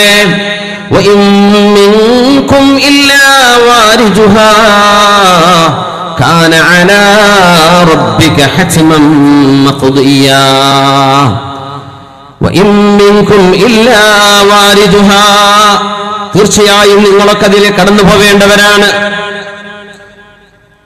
ഖാനാല റബ്ബിക ഹജ്മം മഖ്ദിയാ.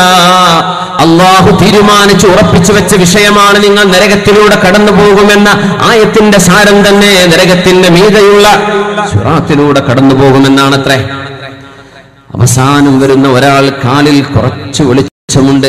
കാലിന്റെ തള്ളവിരൽ ഇങ്ങനെ മിന്നുന്നാണ് കുറഞ്ഞ വെളിച്ചം. ഒന്ന് നീങ്ങും രണ്ടു മിനിറ്റായി റബ്ബേന് ഞാൻ എങ്ങനെ പോകും? ഒന്ന് വെളിച്ചം തെളിയും ഒന്നുകൂടെ അനങ്ങും. അവിടെ നിൽക്കും. കുറേ നേരം കഴിഞ്ഞ് ചിരി മിന്നും. വളരെ കുറച്ച് കർമ്മം ചെയ്തിട്ടുള്ളൂ അതാണ് അതിന്റെ അർത്ഥം. ഒന്നാനിലൊക്കെ അങ്ങനെ. കുറച്ച് നോമ്പൊക്കെ നോറ്റിട്ടുണ്ട്. അള്ളാഹു ചാല സ്വീകരിച്ചോ ഇല്ലേ? നാല് മുസ്ലിമീങ്ങളുടെ കൂട്ടത്തിലായില്ലേ? എന്തോ കൊച്ചു കൊച്ചു നന്മകളൊക്കെ. മെല്ലെ മെല്ലെ മെല്ലെ മെല്ലെ കടന്ന് സുറാത്ത് കടക്കുന്ന ഒരു നേരമുണ്ട്. സുറാത്ത് കടന്നു കഴിയുന്ന നേരം അദ്ദേഹം പറയും എന്നെ രക്ഷപ്പെടുത്തി അല്ലാഹുവേ നിനക്ക് സ്തുതി റബ്ബേ. ആരും രക്ഷപ്പെട്ടതായി എനിക്ക് തോന്നുന്നില്ല. അയാൾ അവസാനം പോകുന്ന ആളാ പക്ഷെ ഇവർക്ക് തോന്നുകയാണ് ഞാനാണ് ആകെ രക്ഷപ്പെട്ട ആൾ എന്ന്. പക്ഷെ അദ്ദേഹമാണെങ്കിലും അവസാനത്തെ ആളായിരുന്നു. മുമ്പ് നടക്കുമ്പോൾ അദ്ദേഹത്തിന് ഒരു വൃക്ഷം അല്ലാഹു കാണിച്ചു കൊടുക്കുന്നു. ഒരു തണലുള്ള വൃക്ഷം തളർന്നിട്ടുണ്ട് ക്ഷീണിച്ചിട്ടുണ്ട്. ഞാൻ യാ റബ്ബി ഉദ്നു അല്ലാഹുവേ ആ വൃക്ഷത്തിന്റെ അരികത്തേക്ക് ഞാനൊന്നും പൊയ്ക്കോട്ടെ എന്നൊന്ന് അനുവദിക്കുമോ? വെള്ളണ്ടെങ്കിൽ ഒന്ന് കുടിക്കാനും തണലുണ്ടെങ്കിൽ അവിടെ ഒന്ന് ഇരിക്കാനും. എന്നൊന്ന് വിടോ ഞാനൊന്ന് പോട്ടെ? അല്ലാഹു താല ചോദിക്കാണ് ഞാൻ തരാം. പക്ഷെ വേറെന്തെങ്കിലും ചോദിക്കുവോ ഇല്ല റബ്ബെ ഇനി ഒന്നും ചോദിക്കൂല. എനിക്ക് അത്രയും മതി. നമ്മളെ വിസ പറഞ്ഞില്ലേ? ഇനി ഒന്നും ചോദിക്കൂല. എനിക്ക് അത്രേ വേണ്ടു റബ്ബേ. വിശ്രമിക്കണം. ചൂടൊക്കെ കഴിഞ്ഞ് വരല്ലേ? ഹൂവലക്കാ പൊയ്ക്കോളൂ. വേറൊന്നും ചോദിക്കരുത് കേട്ടോ. കുറെ അങ്ങ് നടന്നു ചെന്നു. അപ്പൊ ആ വൃക്ഷത്തിന്റെ അരികത്ത് പോയിരിക്കുമ്പോൾ കുറച്ചപ്പുറത്ത് അതിനേക്കാളും വലിയൊരു വൃക്ഷം കാണുന്നുണ്ട്. നല്ല തണലുള്ളത്. പടച്ചവനെ ഒരു മഹ്ലൂക്ക് പോലും ഞാനല്ലാതെ ഇവിടെ കാണുന്നില്ല. ഒരു വൃക്ഷം ഒറ്റയ്ക്ക് ഞാൻ ഈ ചെറിയ തണലിൽ നിൽക്കേണ്ടതിന് പകരം ഞാനങ്ങ് ഒന്നുകൂടെ നല്ല വിശാലമായ തണലുള്ള ആ വൃക്ഷത്തിന്റെ അരികത്തേക്ക് പോയിക്കോട്ടെ. എന്ന് പറയും "ഐ ആബിദി നീയല്ലേ പറഞ്ഞത് വേറൊന്നും ചോദിക്കൂല? പടച്ചവനെ നിനക്ക് വല്ല നഷ്ടം വരുന്നുണ്ടോ റബ്ബേ? നീ കാരുണ്യവാനല്ലയോ പടച്ചവനെ? നീ കരുണാനിധിയല്ലയോ റബ്ബേ? നിനക്ക് എന്നെ ആക്കി തന്നുകൂടെ? ആവാം പക്ഷെ വേറൊന്നും ചോദിക്കരുത് കേട്ടോ വേറൊന്നും ചോദിക്കരുതേ. ഇല്ലല്ലോ റബ്ബെ വേറൊന്നും ചോദിക്കൂല. കഴിഞ്ഞു കഴിഞ്ഞു കഴിഞ്ഞു കഴിഞ്ഞു. ഞാൻ ആ ആയിരത്തി അഞ്ഞൂറ് റുപ്യ ശമ്പളമാണ് ഉദ്ദേശിച്ചത്. കിട്ടി ഇനി ഞാൻ ചോദിക്കൂല. പിന്നെ ആലോചിക്കുക റബ്ബെ ഫാമിലി സ്റ്റാറ്റസ് ഇല്ലല്ലോ. കുടുംബ നാട്ടിൽ ഞാൻ ഇവിടെ നിന്നിട്ട് വല്ല കാര്യമുണ്ടോ? അപ്പോൾ കുടുംബത്തെ കൊണ്ടൊരു റബ്ബെ കുടുംബമുണ്ട് ജീവിച്ചു പോകുന്നുണ്ടെന്നല്ലാതെ അഞ്ച് പൈസ വരുമാനം ബാക്കിയില്ലല്ലോ. ഇങ്ങനെ മനുഷ്യൻ മേലോട്ട് മേലോട്ട് ചിന്തിക്കുന്നു. അത് മനുഷ്യന്റെ ഒരു പ്രകൃതമാണ്. മണ്ണിൽ പോയി കിടക്കുമ്പോഴേ വേറെ നിറയുള്ളൂ എന്ന് റസൂലുള്ളാഹി സ്വല്ലല്ലാഹു ആ വലിയ വൃക്ഷത്തിന്റെ മുമ്പിലേക്ക് ഇയാൾ വരുന്നു. അവിടെ ഇങ്ങനെ വന്നിരിക്കുമ്പോഴാ മുമ്പോട്ട് നോക്കുമ്പോൾ ഒരു അതിനേക്കാളും മനോഹരമായൊരു വൃക്ഷമുണ്ട് അല്ലെങ്കിൽ ഒരു വീടുണ്ട്. അത് സ്വർഗത്തിന്റെ വാതിലിന്റെ അരികത്താണ്. അദ്ദേഹം ചോദിക്കുന്നു യാ പടച്ചവനെ എന്നൊന്ന് അവിടം വരെ ആക്കി തരുമോ റബ്ബേ? വേറൊന്നും ഞാൻ ചോദിക്കൂല. അപ്പൊ നമ്മൾ തമ്മിൽ കരാറുണ്ടായി. രണ്ടു തവണ നീ വാക്ക് പാലിച്ചില്ലല്ലോ നീ. നമ്മുടെ കരാറുകൾ ലംഘിച്ചിട്ടുണ്ടല്ലോ. ഐ റബ്ബി പടച്ചവനെ നീയല്ലയോ കാരുണ്യം ചെയ്യാൻ കഴിയുന്നവരിൽ ഏറ്റവും വലിയ കാരുണ്യവാൻ. അള്ളാഹുവിനെ പറ്റി നമ്മൾ അങ്ങനെ വിചാരിക്കുക. പക്ഷെ അള്ളാഹു നമ്മെ രക്ഷപ്പെടുത്തി തരട്ടെ. ഒരു ആറാബി വന്ന് ചോദിച്ചു പൊന്നാര നബിയെ നാളെ മഷറയിൽ വിചാരണ ചെയ്യുന്നത് അള്ളാഹുവിനല്ലേ എന്ന് ചോദിച്ചു. അതെന്താ അങ്ങനെ ചോദിക്കുന്നതെന്ന്? അള്ളാഹുവിനല്ലേ നബിയെ നമ്മളെ വിചാരണ ചെയ്യാൻ പോകുന്നത്? അതെ. അലഹമില്ല അതുമല്ല മനുഷ്യന്മാരെ അല്ല ഏൽപ്പിച്ചിട്ടുണ്ടെങ്കിൽ ഞാൻ നരകത്ത് പോയ നബി. അല്ലല്ലേ അർഹമുറാഹിമീനല്ലേ അവൻ കാരുണ്യവാനാണല്ലോ പടച്ചവനെ. അള്ളാഹുവിന്റെ നബിയെ അള്ളാഹു കാരുണ്യവാനല്ലയോ? എനിക്ക് അവന്റെ റഹ്മത്തിൽ പ്രതീക്ഷയുണ്ട്. ആ മനുഷ്യ ഇറങ്ങി പോവാൻ അള്ളാഹുവിന്റെ റഹ്മത്തിൽ പ്രതീക്ഷിക്കുക. എന്നാൽ പേടിക്കും ചെയ്യുക രണ്ടും വേണമെന്നാണ്. അൽ ഖൗഫു വർ റജ പേടിയുടെയും അതുപോലെ പ്രതീക്ഷയുടെയും ഇടയിലാണ് നമ്മൾ ജീവിക്കേണ്ടത്. അങ്ങനെ വെറും പ്രതീക്ഷ രക്ഷപ്പെടുന്ന ഉറപ്പാണ്. അങ്ങനെ പ്രതീക്ഷിക്കരുത്. അള്ളാഹു രക്ഷപ്പെടുത്തി തരട്ടെ എന്ന് ആശിക്കുകയും ദ്വാരിക്കുകയും ചെയ്യുക അള്ളാഹു നമ്മെ രക്ഷപ്പെടുത്തി തരട്ടെ. ആമീൻ യാ റബ്ബൽ ആലമീൻ. അവിടെ എത്തിയപ്പോഴാണ് സ്വർഗവാസികളുടെ സംസാരം കേൾക്കുന്നത്. അതങ്ങ് നല്ല വർത്തമാനം ഒച്ചപ്പാടൊക്കെ. ഒരു ഫുട്ബോൾ ഗ്രൗണ്ട് മാച്ച് നടക്കുമ്പോൾ റോഡിലൂടെ പോകുമ്പോൾ കേൾക്കുന്ന ഒരു ആരവുണ്ടല്ലോ. എന്തോ ഇവിടെ ആൾക്കാരുണ്ടോ പടച്ചവനെ ഞാൻ ഒറ്റയ്ക്ക് ഈ വീട്ടിൽ ഈ മഹാവൃക്ഷത്തിന്റെ താഴെ ഞാൻ ഒറ്റയ്ക്ക് ഇങ്ങനെ കടന്നിട്ട് എന്ത് കാര്യമുണ്ട് റബ്ബേ? അവിടെ കുറെ ആളുകളെ കാണുന്നുണ്ടല്ലോ. ഞാൻ അങ്ങോട്ട് പോയിക്കോട്ടെ. ആ നീ പോയിക്കോ. ഇതുവരെ പറഞ്ഞതൊക്കെ ലംഘിച്ചു ഇനി ഇതുമായിട്ട്. ആ എന്നാലും റബ്ബേ നീ എനിക്ക് മാപ്പുതാ നീ കാരുണ്യവാനല്ലയോ. ഞാൻ പൊയ്ക്കോട്ടെ. ആ പൊയ്ക്കോളൂ. അതിന് പഠിച്ചവരെ അവിടെ സ്ഥലം ഉണ്ടാകുമോ ജനങ്ങളൊക്കെ എല്ലാവരും എല്ലാവരും അവരുടെ സീറ്റുകളും റൂമുകളും വീടുകളൊക്കെ എല്ലാവരുടെ കയ്യിലും കിട്ടിയില്ലേ? എനിക്ക് വല്ലതുണ്ടാകും അവിടെ? നിനക്ക് നിന്റെ ദുന്യാവിൽ ജീവിച്ച ലോകം ഓർമ്മണ്ടോ ആ, ഉണ്ട് റബ്ബേ. അവിടുത്തെ ഒരു വലിയൊരു രാജാവിന് കിട്ടിയ അധികാര മണ്ഡലം എത്രയാണോ അത്ര ഞാൻ നിനക്ക് തരട്ടെ. അപ്പോ അദ്ദേഹം ചോദിക്കാണ് റബ്ബേ അത്തസ്തഹി ഉബി എന്നെ കളിയാക്കണോ പഠിച്ചോനെ എന്നെ നീ കളിയാക്കുകയാണോ. ഈ ഹദീസ് പറഞ്ഞപ്പോ റളിയല്ലാഹു അൻഹു ചിരിച്ചു എന്നിട്ട് ചോദിച്ചു എന്നോട് ചോദിക്കിൻ എന്തിനാ ഞാൻ ചിരിക്കണത് എന്നോട് ചോദിക്കിൻ എന്ന് പറഞ്ഞു. അപ്പൊ ആൾക്കാർ ചോദിച്ചു എന്തിനാ നിങ്ങൾ ചിരിക്കണത് ഹബീബായ തങ്ങൾ ചിരിച്ചു. തങ്ങൾ ഞങ്ങളോട് ചോദിച്ചു ഞാൻ എന്തിനാ ചിരിക്കുന്നു? എന്നോട് ചോദിക്കൻ. ഞങ്ങൾ ചോദിച്ചു എന്തിനാ നബി അങ്ങ് ചിരിക്കുന്നത്? പറഞ്ഞു അള്ളാഹു ചിരിച്ചത് കണ്ടപ്പോ ഞാൻ ചിരിക്കുകയാണ്. ഈ മനുഷ്യൻ ചോദിച്ചല്ലോ എന്നെ കളിയാക്കുകയാണോ പടച്ചവനെ? ഒരു ചെറിയ സ്ഥലം വേണമെന്ന് പറഞ്ഞപ്പോ ദുന്യാവിലെ രാജാവിന്റെ വലിയൊരു രാജമണ്ഡലം വലിയൊരു വലിയ ലോകം തന്നെ എനിക്ക് തരാമെന്ന് ഓഫർ ചെയ്യുമ്പോ എത്തിങ്കാന പിരിവിന് വരികയെന്ന് വിചാരിക്കുക. ആകെ റെസീറ്റ് അമ്പത് റുപ്യാണ്. ഞാനൊരു അഞ്ചു ലക്ഷം തന്നാൽ എന്താന്ന് ചോദിച്ചാൽ കളിയാക്കാന്ന് വിചാരിക്കൂലേ? ഇദ്ദേഹം ചോദിച്ചത് അവിടെ നിന്ന് കിടക്കാൻ സ്ഥലമുണ്ടോ ഉടച്ചവനെ എനിക്ക് കാലുകുത്താൻ സ്ഥലം കാണില്ലല്ലോ. നിനക്ക് ദുന്യാവ് ഓർമ്മണ്ടോ അത്ര തന്നാൽ എന്താണ്. ദുന്യാവ് നീ കണ്ടിട്ടുള്ള ലോകം ആ ലോകം ഭൂമിയല്ല പ്രപഞ്ചത്തുമൊന്നാകെ നക്ഷത്രഗോളങ്ങളും താരസമൂഹങ്ങളുമുള്ള ഈ പ്രപഞ്ചം. ഞാൻ നിന്നെ കളിയാക്കുകയല്ല പരിഹസിക്കുകയല്ല.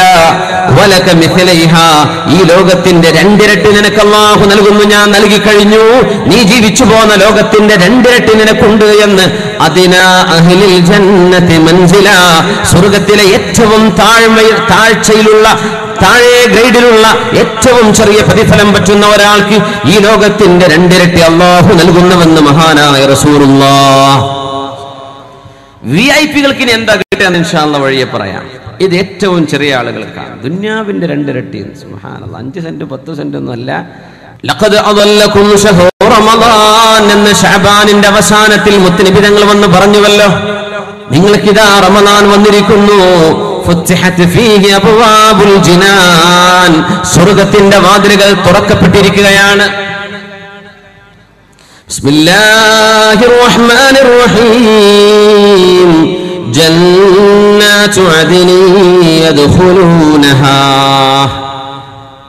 സ്വർഗത്തിലേക്ക് സത്യവിശ്വാസികൾ കടന്നു പോകും അള്ളാഹുമ ജാലിനും يحلون فيها من أساور من ذهب ولؤلؤا മുത്തുകളും സ്വർണങ്ങളും അവർക്ക് ആഭരണമായി അണിയിക്കപ്പെടുകയും ചെയ്യും സ്വർഗലോകത്ത് ആഭരണമുണ്ട് ആണുങ്ങൾക്കുണ്ട് പെണ്ണുങ്ങൾക്കുണ്ട് എന്നാണ്. അത് ബോറടിക്കണ ആഭരണമല്ല അള്ളാഹു ഒരുക്കി വെച്ച സ്വർണമാണ് അള്ളാഹു ഒരുക്കി വെച്ച ലുലു ആണ് അത് ഭൂമിയിലെ നമ്മൾ ജോലിക്കാരന്റെ സ്വർണമായിട്ട് തട്ടിച്ചു നോക്കരുത് ചെമ്പ് കൂട്ടി ആ സ്വർണ്ണം അല്ല ഇത് ഇത് നമ്മുടെ ദുന്യാവിലെ ട്വന്റി ഫോറോ ട്വന്റി സിക്സോ എത്ര പറയാം അതൊന്നും അല്ല മാല ഐനുൻ റഅത്ത്. ഒരാൾക്കും കാണാൻ കഴിഞ്ഞിട്ടില്ലാത്തത് അതിന്റെ പരിശുദ്ധിയെ കുറിച്ച് ആരും കേട്ടിട്ട് പോലുമില്ല ആലോചിക്കാനും കഴിയില്ല സുബ്ഹാനല്ലാഹ് من نسابر من ذهب ولؤلؤا ولباسهم فيها حرير വളരെ നേർത്ത പട്ടുടയാളകൾ അള്ളാഹു പട്ടിന്റെ ഉടയാടകൾ അവർക്ക് അണിയിക്കുന്നതാണ് സ്വർലോകത്ത് മനോഹരമായ വസ്ത്രങ്ങളുണ്ട് അവർക്ക് وقالوا الحمد لله الذي أذهب عنا الحزن إن ربنا لغفور شكور وقالوا അവർ പറയും الحمد لله الذي أذهب عنا الحزن അല്ലാഹുവേ സങ്കടം ഞങ്ങളിൽ നിന്ന് നീക്കി തന്ന അല്ലാഹുവേ നിനക്ക് സ്തുതി റബ്ബേ ഒരുപാട് സങ്കടപ്പെട്ട കഴിഞ്ഞത് ദുന്യാവിൽ മക്കൾ എന്തായി പോകും എന്റെ ജീവിതം എന്തായി പോകും മരണം എന്തായി പോകും എന്റെ ആഹ്റം എന്താണ് ഖബർ എന്താണ് ഒരുപാട് സങ്കടപ്പെട്ട് ജീവിച്ചതാണ് ഒരുപാട് വിഷമം അനുഭവിച്ചിട്ടുണ്ട്. മാതാപിതാക്കൾ വേർപിരിഞ്ഞു പോയപ്പോ പ്രിയപ്പെട്ട ഭർത്താവ് മരിച്ചപ്പോ പ്രിയപ്പെട്ട ഭാര്യ മരിച്ചപ്പോ. സങ്കടപ്പെട്ടു. ദുന്യാവ് അങ്ങനെയാണ്. ഒരുപാട് വിഷമങ്ങൾ ഉണ്ടാകും ദുന്യാവ് അങ്ങനെയല്ലേ? അള്ളാഹുവിന്റെ പരീക്ഷണങ്ങൾ ചിലപ്പോൾ ചില സന്ദർഭങ്ങളിൽ ഒരുമിച്ച് ഒരുപാട് വരുന്നു. ചിലർക്ക് അള്ളാഹു കുറച്ച് കുറച്ച് പരീക്ഷണങ്ങൾ ചിലർക്ക് ഒരുപാട് ഒരുമിച്ച്. ബാഹുവേ ജീവിതത്തിൽ നീ അനർഘമായി ഒരിക്കലും മാറ്റം വരുത്തില്ല എന്ന ഒരു തീരുമാനം നിനക്കുള്ള കലാവുകൾ വല്ലതും ഉപറമായ കലാവുകൾ ഞങ്ങളിൽ വിധിച്ചിട്ടുണ്ടെങ്കിൽ അത് സഹിക്കാനുള്ള മനക്കരുത്ത് ഞങ്ങൾക്ക് നൽകണം തമ്പുരാനെ. നിന്റെ കലാവുകൾ വല്ല മുഅല്ലഖുമാണെങ്കിൽ അള്ളാഹുവേ ഈ സദസ്സിലെ ദുആഇന്റെ ബറക്കത്ത് കൊണ്ട് ഇവിടെ പഠിച്ചുപോയ ഇവിടെ പഠിപ്പിച്ചുപോയ മഹത്തുക്കളായ പണ്ഡിതന്മാരുടെ മഹത്വം കൊണ്ട് അള്ളാഹു ഇവിടെ മറവ് ചെയ്യപ്പെട്ട് കിടക്കുന്ന രണ്ട് മഹത്തുക്കളായ രണ്ട് ശ്രേഷ്ഠരുടെ പുണ്യം അവർ ചെയ്ത കർമ്മങ്ങൾ അള്ളാഹു ഈ വിശുദ്ധ റമലാനെ മുൻനിർത്തി. റഹ്മാനായ റബ്ബേ اللهم سلمنا من آفات الدنيا والآخرة ദുനിയാവിന്റെയും പരലോകത്തിന്റെയും വിപത്തുകളിൽ നിന്ന് ഞങ്ങൾക്ക് നീ കാവൽ നൽകണം തമ്പുരാനെ وقالوا الحمد لله الذي أذهب عنا الحزن സ്വർഗത്തിലേക്ക് കടക്കുമവരെ പറയും അല്ലാഹുവേ ഞങ്ങളുടെ ജീവിതത്തിൽ സങ്കടമില്ലാതാക്കി തന്നവരെ റബ്ബേ നിനക്ക് സ്തുതി അൽഹംദുലില്ലാഹ് الحمد لله الذي أذهب ഇന്ന ഷക്കൂർ ഞങ്ങളുടെ അള്ളാഹു ഒരുപാട് പുറത്തു തരുന്നവനും ഞങ്ങളുടെ അള്ളാഹു നന്ദിക്ക് തിരിച്ചുപകാരം ചെയ്യുന്നവനുമാണല്ലോ എന്ന് സ്വർഗവാസികൾ സ്വർഗത്തിലേക്ക് കടന്നു വരുന്ന വാക്കാണത്. നമ്മൾ ഓർത്തു നോക്കുക മസീറത്തു സന നാൽപ്പത് വർഷം ഇനിയും യാത്ര ചെയ്ത് എത്താൻ ദൂരം ബാക്കിയുണ്ടായിരിക്കെ തന്നെ സ്വർഗത്തിന്റെ സുഗന്ധം ഇങ്ങനെ വന്നുകൊണ്ടിരിക്കും. സ്വർഗത്തിന് എട്ട് വാതിലുകൾ അല്ലാഹു വെച്ചിരിക്കുന്ന ഓരോ വാതിലിന്റെ ഒരറ്റം മുതൽ മറ്റൊരച്ചം വരെയുള്ള ദൂരം സന നാൽപ്പത് വർഷം ചെയ്യേണ്ട യാത്രയുടെ ദൂരമുണ്ട്. എന്നാൽ ആ കവാടങ്ങൾക്ക് വാതിലുണ്ട്. ആ കവാടങ്ങളുടെ വാതിലിന്റെ വാതിലിന്റെ കണ്ണി ആദ്യമായി അത് പിടിച്ച് കവാടം തുറക്കാൻ ആവശ്യപ്പെടുന്നത് ലോകത്തിന്റെ ഗുരു നമ്മുടെ ഹബീബ് മുഹമ്മദ് റസൂലുള്ളാഹ്. സ്വല്ലല്ലാഹു അലൈഹി വസല്ലമ തങ്ങളാണ്. സ്വർഗവാതിലിന്റെ മിഖ്ബലിൽ അള്ളാഹുവിന്റെ ഹബീബ് ഇങ്ങനെ പിടിക്കുമ്പോ മലക്കുകൾ ചോദിക്കും ആരാണിത്? മുഹമ്മദുൽ മുഹമ്മദ് നബിയാണ്. സല്ലല്ലാഹു അലൈഹി വസല്ലം. അവർ പറയും ഉമിർനാ നിങ്ങൾക്കല്ലാതെ മറ്റാർക്കും ഇത് തുറന്നു കൊടുക്കരുത് എന്ന് ഞങ്ങളോട് നിർദ്ദേശമുണ്ട് എന്ന് പറഞ്ഞതുകൊണ്ട് അങ്ങനെയാണ് ഇത് ദുഃഖപ്പെടേണ്ടത് അങ്ങയുടെ കൈകൊണ്ടാണ് തുറന്നോളൂ നബിയെ എന്ന് അള്ളാഹുവിന്റെ ഹബീബ് ഉമ്മത്തുകളിലെ വലിയ ഒരു സംഘം സത്യവിശ്വാസികൾ കൂടെ നിൽക്കുമ്പോൾ നോക്കണം സ്വർഗത്തിന്റെ വാതിൽ തുറക്കുമ്പോ കൂടെ നിൽക്കാന്ന് പറയുമ്പോ റബ്ബേ എനിക്കവിടെ നിൽക്കാൻ എനിക്കവിടെ നിൽക്കാൻ സ്ഥലം ഉണ്ടാകോ അങ്ങനെ ആലോചിക്കും. സ്വർഗവാതിൽ മസീറത്തു അർബഈന സന നാൽപ്പത് വർഷത്തെ വഴിദൂരമുണ്ടത്രേ. വാതിലിന് ഒരറ്റത്തുനിന്ന് മറ്റേ അറ്റത്തേക്ക് നാൽപ്പത് വർഷത്തെ വഴിദൂരം. ആ സുമ്രത്തിൽ ഹബീബിന്റെ കൂടെ നിന്ന് വാതിൽ തുറന്നു കാണുകയും സ്വർഗലോകത്തിന്റെ വാതിൽ തുറക്കപ്പെടുന്ന നേരം ഒന്ന് മനസ്സുകൊണ്ട് ചിന്തിച്ചു നോക്കുന്നതിന്റെ ഉള്ളിലേക്ക് ഇങ്ങനെ നോക്കുമ്പോ ഒരു കണ്ണുകൊണ്ടും കണ്ടിട്ടില്ലാത്തത്. ഒരു കാതുകൊണ്ടും കേട്ടിട്ടില്ലാത്തത്.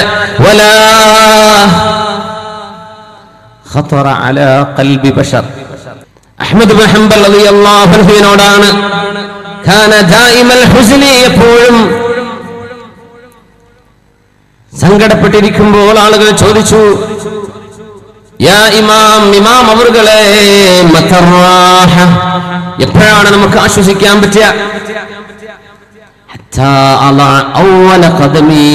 ജന്ന. എന്റെ കാലിൽ ആദ്യത്തെ കാൽ സ്വർഗവാതിൽ തുറക്കപ്പെട്ട് അതിന്റെ അകത്തേക്ക് ഞാൻ വെക്കുമ്പോൾ അപ്പോഴാണ് സത്യവിശ്വാസിക്ക് സന്തോഷം റാഹത്തും വരുന്നത് എന്ന് മഹാനായ അഹമ്മദ് ബിൻ ഹംബൽ. അരങ്ങെന്ന് ആലോചിച്ച് നോക്കും. ഹബീബായ തങ്ങൾ വാതിൽ തുറക്കുന്നു. സത്യവിശ്വാസികൾ കൂടെയുണ്ട് അവിടെ തിക്കിത്തിരക്കാൻ വേണ്ടി കൂടെയുണ്ട്. അങ്ങനെ ഹബീബിന്റെ സുഹാബിമാർ ലക്ഷക്കണക്കിന് സുഹാബിമാരും ചാബിയങ്ങളും അവിടെ ഓടി വരുന്നുണ്ട്. അക്കൂട്ടത്തിൽ ഒരാളുണ്ട് മഹാനായ അബൂ മുസ്ലിമുൽ രാത്രി എഴുന്നേറ്റ് നിസ്കരിക്കുമായിരുന്നു. നിസ്കാരത്തിൽ ഒരുപാട് ക്ഷീണം വന്ന് എഴുന്നേൽക്കാൻ പറ്റാതെ തളർന്നു പോകുമ്പോ. ചാട്ടവാറെടുക്കും കാലിലടിച്ചുകൊണ്ട് പറയും അബൂ മുസ്ലിം എനിക്ക് ക്ഷീണമായോ നിസ്കരിക്ക് നിർത്തല്ല. സ്വന്തം ശരീരത്തെ അടിച്ചുകൊണ്ട് പറഞ്ഞ് മഹാനായ അബൂ മുസ്ലിം അൽ ഖൗലാനി റളിയല്ലാഹു അൻഹു പറയുമായിരുന്നു വല്ലാഹി വല്ലാഹി ലനുസാഹിമന്നഹും അലൈഹി. അള്ളാഹുവിന്റെ റസൂൽ വാതിൽ തുറക്കുമ്പോ ഹബീബിന്റെ കൂടെ തിരക്കാൻ ഞങ്ങളും ഉണ്ടാകും. ഹത്താ യഅലമ അസ്ഹാബു മുഹമ്മദിൻ ഇന്നമാ ഖല്ലഫു വറാഅഹും റിജാല. സല്ലു നബി മുഹമ്മദിൻ വആലിഹി എഴുന്നേറ്റ് സ്വലാത്ത് ചൊല്ലിൻ സല്ലു അല നബി മുഹമ്മദിൻ വആലിഹി اللهم صل على سيدنا محمد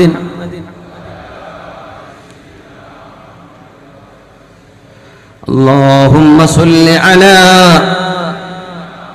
محمد سيدنا محمد وبارك وسلم عليه اللهم صل على سيدنا محمد وعلى آل سيدنا محمد وبارك وسلم عليه മഹാനവറുകൾ പറയുകയാണ് حتى يعلم أصحاب محمد إنما خلفوا وراءهم رجالا നബിയോടുകൂടെ ആ നേരത്ത് തിരക്കാൻ ഞങ്ങളും കൂടെ ഉണ്ടാകും. അള്ളാന്റെ റസൂലിന്റെ സഹാബിമാർ എന്നിട്ട് മനസ്സിലാക്കണം അവർ പിറകെ ഇട്ടേച്ചു പോയത് ആൺകുട്ടികളെയാണെന്ന്. ആൺകുട്ടികൾ ഞങ്ങൾക്ക് പിന്നിലുണ്ടായിരുന്നുവെന്ന് നബിയുടെ സഹാബികൾക്ക് അറിയണം. അതുകൊണ്ട് താബിഴിയായ അബൂ ആ നേരത്ത് തിരക്കാൻ ഹബീബിന്റെ കൂടെ നിൽക്കാൻ ശരീരത്തോടെ ഇബാദത്ത് ചെയ്യാൻ പറയാണ് സുബ്ഹാനല്ലാഹ് അതൊരു വല്ല രംഗമായിരിക്കും. സ്വർഗം തുറന്നു കാണുന്ന ഒരു നേരം റളിയല്ലാഹുവിനുമാണ് ചോദിച്ചത് അള്ളാഹുവിന്റെ നബിയെ അള്ളാഹുവിന്റെ റസൂലെ സ്വർഗവാതിലുകളിൽ ഏതെങ്കിലും ഒരു വാതിലിലൂടെ ഒരാളെ വിളിച്ചാൽ പ്രയാസൊന്നുമില്ല സ്വർഗത്തിന്റെ കവാടങ്ങളിൽ മാലാഖമാർ. അള്ളാഹുവിന്റെ ദാസനെ ഇങ്ങോട്ട് പോരെ. ഇങ്ങോട്ട് പോരെ എന്ന് അള്ളാഹുവിന്റെ മഹാശക്തികളായ മാലാഖമാർ അവിടുത്തെ വളണ്ടിയർമാർ അവരാണ്. ഇങ്ങോട്ട് പോരും എന്ന് പറഞ്ഞങ്ങനെ വിളിക്കുകയാണ്. ഈ വാതിലാ നല്ലത് ഇങ്ങോട്ട് പോരിൻ. ഇവിടെ വരണം ഇതാണ് നിങ്ങൾക്ക് നല്ലത് എന്ന് മാലാഖമാരിങ്ങനെ വിളിക്കുന്നു. അതിൽ ആരെങ്കിലും സ്വദഖ ധാരാളം ചെയ്യുന്ന ആളുകൾ കൈയഴിഞ്ഞ് ദീനീ സ്ഥാപനങ്ങളെ ദീനിനെ സഹായിക്കുന്നവരെ അള്ളാഹുവിന് വേണ്ടി കൊടുത്തവർ അവരെ സ്വതക്കയുടെ വാതിലിലൂടെ വിളിക്കും. ഇതിൽ വരിനെന്ന് അള്ളാഹു സ്ഥാപനത്തിന്റെ ദീനിന് വേണ്ടി ആരൊക്കെ ആത്മാർത്ഥമായി അമൽ ചെയ്തോ അവരൊക്കെ ചെയ്ത നാണയത്തുപ്പുകൾ കാരണം ബാബു സ്വതക്കയിലൂടെ കടക്കാൻ അള്ളാഹു തോഫീക്ക് നൽകട്ടെ. സ്വന്തം സമ്പാദ്യത്തിന്റെ വലിയൊരളവ് ഈ സ്ഥാപനത്തിന് വേണ്ടി മാറ്റിവെച്ച ഒരുപാട് മഹത്തുക്കൾ ഈ വേദിയിൽ സ്റ്റേജിൽ ഇരിക്കുന്നുണ്ട്. അള്ളാഹു ഒക്കെ ബാബു സ്വതക്കയിലൂടെ കടക്കാൻ തോഫീക്ക് കൊടുക്കട്ടെ. നമുക്കും അള്ളാഹു തോഫീക്ക് തരട്ടെ. നോമ്പ് ഇഷ്ടപ്പെടുന്ന ആളുകൾ അള്ളാഹുവിന്റെ മലക്കുകൾ വിളിക്കും ബാബുർ റയ്യാനിലൂടെ വിളിക്കും. അള്ളാഹുവിന് വേണ്ടി ധർമ്മസമരം ചെയ്തവരെ ബാബുൽ ജിഹാദിലൂടെ വിളിക്കും. നിസ്കാരം എമ്പാടും ഇഷ്ടപ്പെട്ടവരെ സുന്നത്തായിട്ട് അങ്ങനെ നിസ്കരിക്കുകയാണ്. നിസ്കാരം നിസ്കരിച്ചുകൊണ്ട് മടുപ്പ് വരാത്തവർ മുസല്ലം അടിവെക്കാറില്ല മടക്കി വെക്കാറില്ല. അങ്ങനത്തെ എത്രയോ ഉമ്മമാർ എത്രയോ നല്ല സഹോദരിമാർ എത്രയോ നല്ല പുരുഷന്മാർ ഉപ്പമാർ പണ്ഡിതന്മാർ സദാശയങ്ങൾ നിസ്കാരം ഇഷ്ടപ്പെട്ടവരെ നിസ്കാരത്തിന്റെ വാതിലിലൂടെ വിളിക്കുമെന്ന് ഹബീബ് പറഞ്ഞപ്പോഴാ നബിയെ ഒരു വാതിലിലൂടെ ഒരാളെ വിളിച്ചാൽ കുഴപ്പമില്ല നബിയെ. എല്ലാ വാതിലൂടെയും ആരെങ്കിലും വിളിക്കുമോ നബിയെ? ഇതെല്ലാം ഒരാൾ ഇഷ്ടപ്പെട്ടു. എല്ലാം ചെയ്തു. എന്നാൽ എല്ലാ വാതിലൂടെയും അവരെ വിളിക്കുകയാണെങ്കിൽ എന്ത് ചെയ്യും നബിയേ എന്ന് ഹബീബ് വസല്ലം തങ്ങളുടെ അറുപത് വർഷത്തെ കൂട്ടുകാരൻ മഹാനായ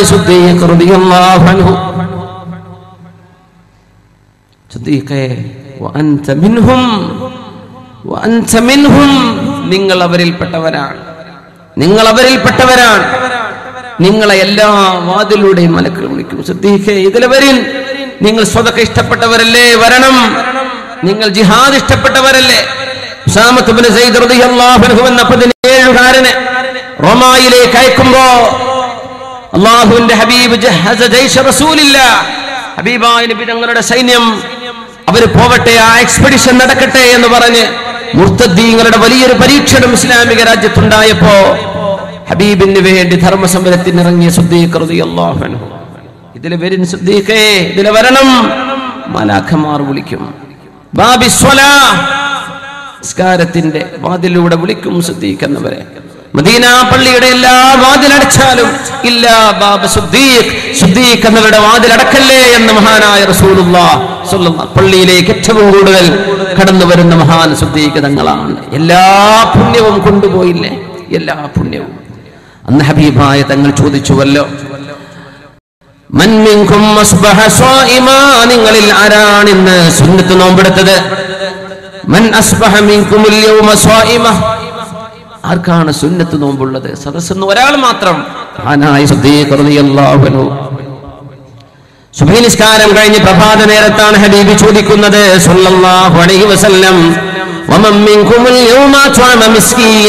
ഒരു മിസ്കീനിന് ആരാണ് ഇവിടെ ഭക്ഷണം കൊടുത്തത്?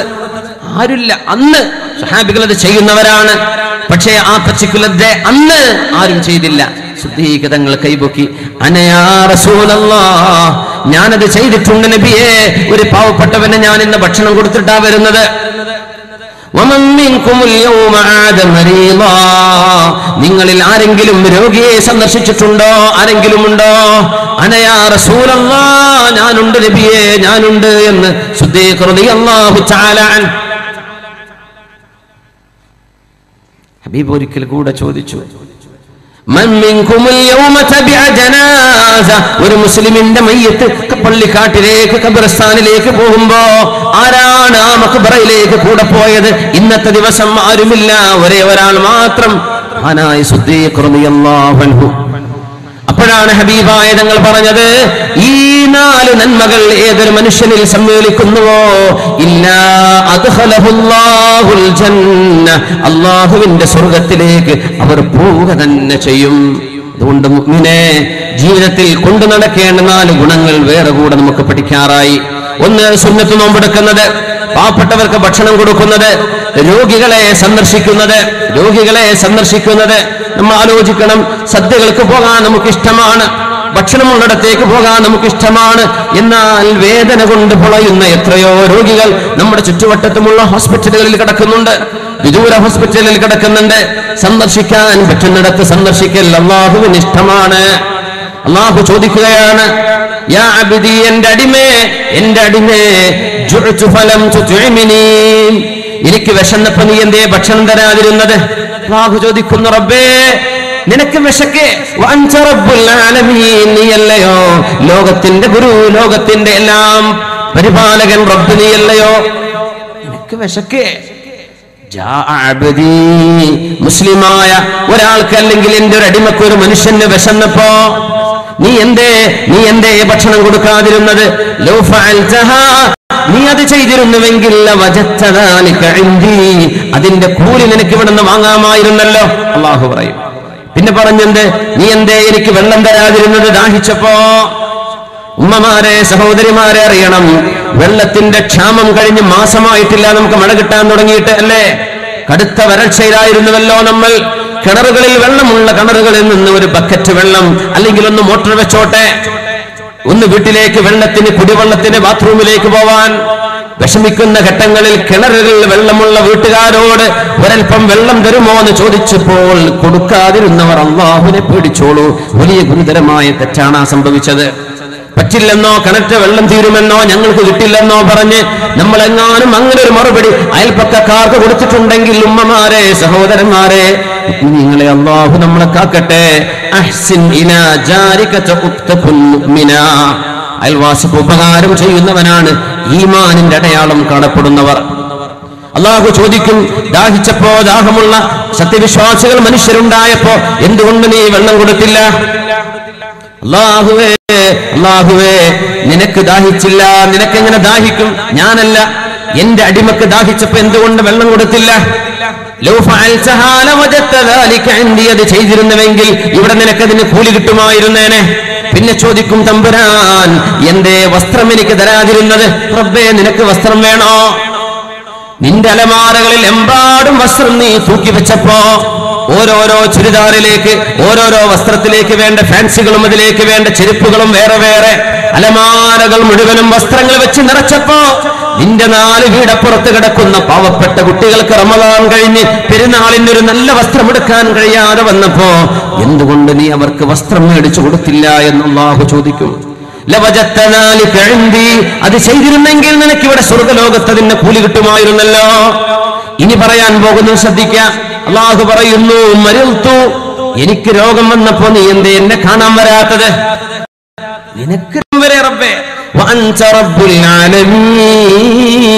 നീയല്ലയോ റബ്ബേ ലോകരക്ഷിതാവ്? നിനക്കെങ്ങനെയാ രോ- നിനക്കെങ്ങനെയാ രോഗം വരുന്നത്?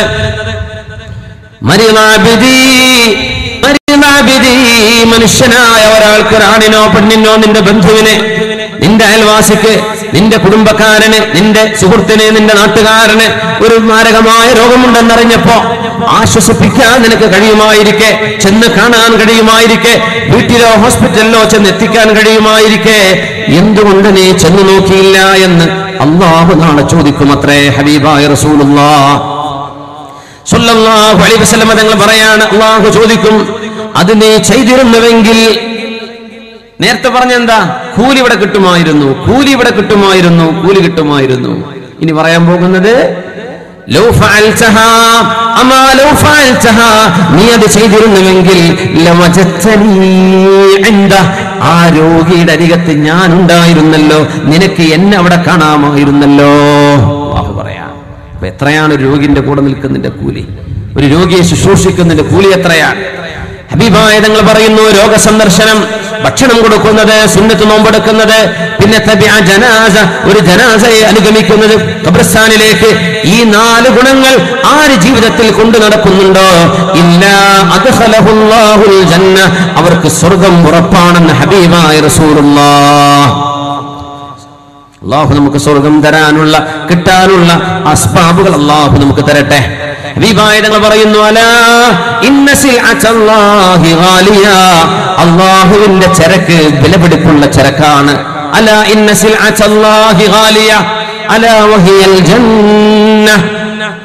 സ്വർഗം വില കൊടുത്തു വാങ്ങാനുള്ളതല്ല. വില കൊടുത്തു വാങ്ങാനുള്ളതല്ല. അലാ ഇന്ന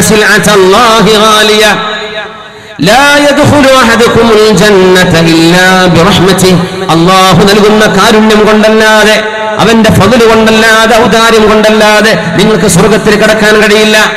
അവർ ചോദിച്ചു നബിയേ അമലുകളെ കൊണ്ട് കഴിയില്ലേ? ഇല്ല. അമലുകൾ ചെയ്താൽ അള്ളാന്റെ കാരുണ്യം കിട്ടാൻ കാരണമാണ്. പക്ഷേ കാരുണ്യമാണ് സ്വർഗത്തിലേക്ക് പോകാനുള്ള കാരണം.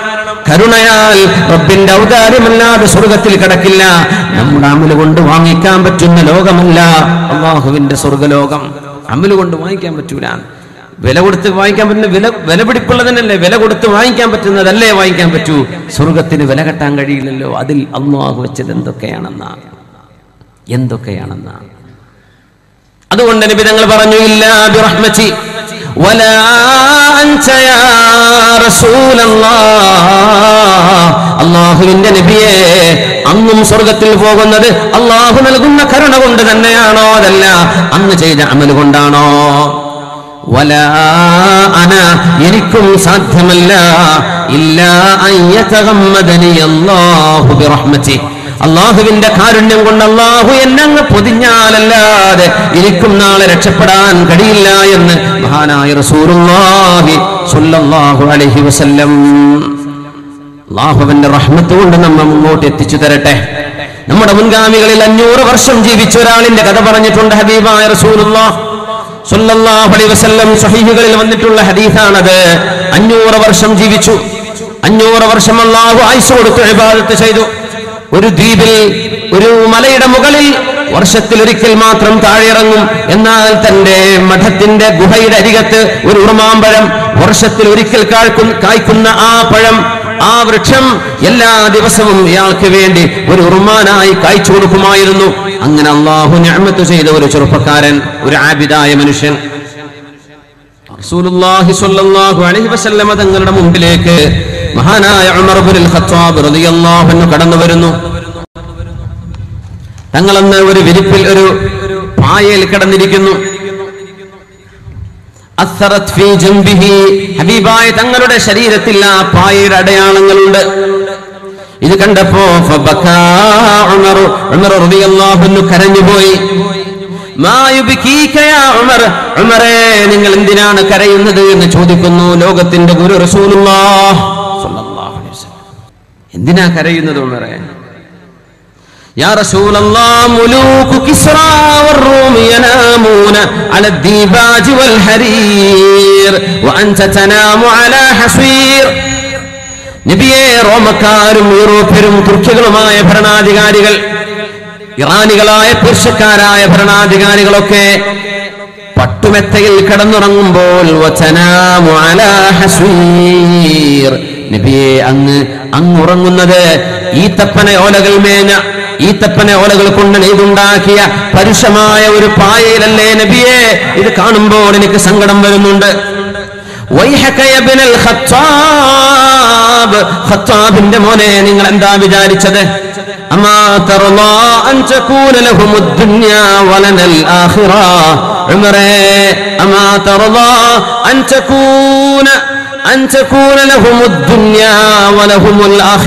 ഈ ലോകത്തിന്റെ ആർഭാടങ്ങളും സുഖങ്ങളും അല്ലാഹു ഈ രാജാക്കന്മാർക്ക് കൊടുക്കുകയും നമുക്ക് അല്ലാഹു പരലോകം നൽകുകയുമാണെങ്കിൽ ഉണരെ എന്ത് കുഴപ്പമുണ്ട് എന്ന് മഹാനായ ഹബീബ് സല്ലല്ലാഹു അലൈഹി വസല്ലം നമുക്ക് അവിടെ അവിടെ വേണ്ടേ നമുക്ക് അവിടെ വേണ്ടേ നമുക്ക് അവിടെ ഉണ്ടല്ലോ. അവിടെ ഉണ്ടല്ലോ നമുക്ക്. അന്ന് ഖൈറയിലൂടെ നടക്കുമ്പോഴാണ് മനോഹരമായ ഒരു വെളുത്ത കുതിരപ്പുറത്ത് ഇങ്ങനെ നടക്കുമ്പോഴാണ് മനോഹരമായ ഒരു കുതിരപ്പുറത്ത്. അന്ന് ഒരു കൊല്ലന്റെ പണിയെടുക്കുന്ന ബ്ലാക്ക് സ്മിത്ത് കൊല്ലന്റെ ഇരുമ്പൊക്കെ അടിച്ചു നന്നാക്കുന്ന ചൂളയിൽ കഴിയുന്ന ഒരു ജൂതൻ അവിടെ ഒരു പ്രായമുള്ള വൃദ്ധനായാൽ അദ്ദേഹം ഒരു കമീശ ധരിച്ചു പക്ഷേ മുഴുവൻ കരിയാണ് കൈകളിൽ കരിയുണ്ട് ദേഹത്ത് കരിയുണ്ട്. അയാൾ ഇങ്ങനെ വന്നിട്ട് ആ കുതിരയുടെ മൂക്ക് കയറി പിടിച്ചിട്ട് ഇങ്ങനെ ചോദിക്കുകയാണ് നിങ്ങളുടെ നബിയുടെ ഒരു ഹദീസ് ഓർമ്മയുണ്ടോ? എന്താണ്?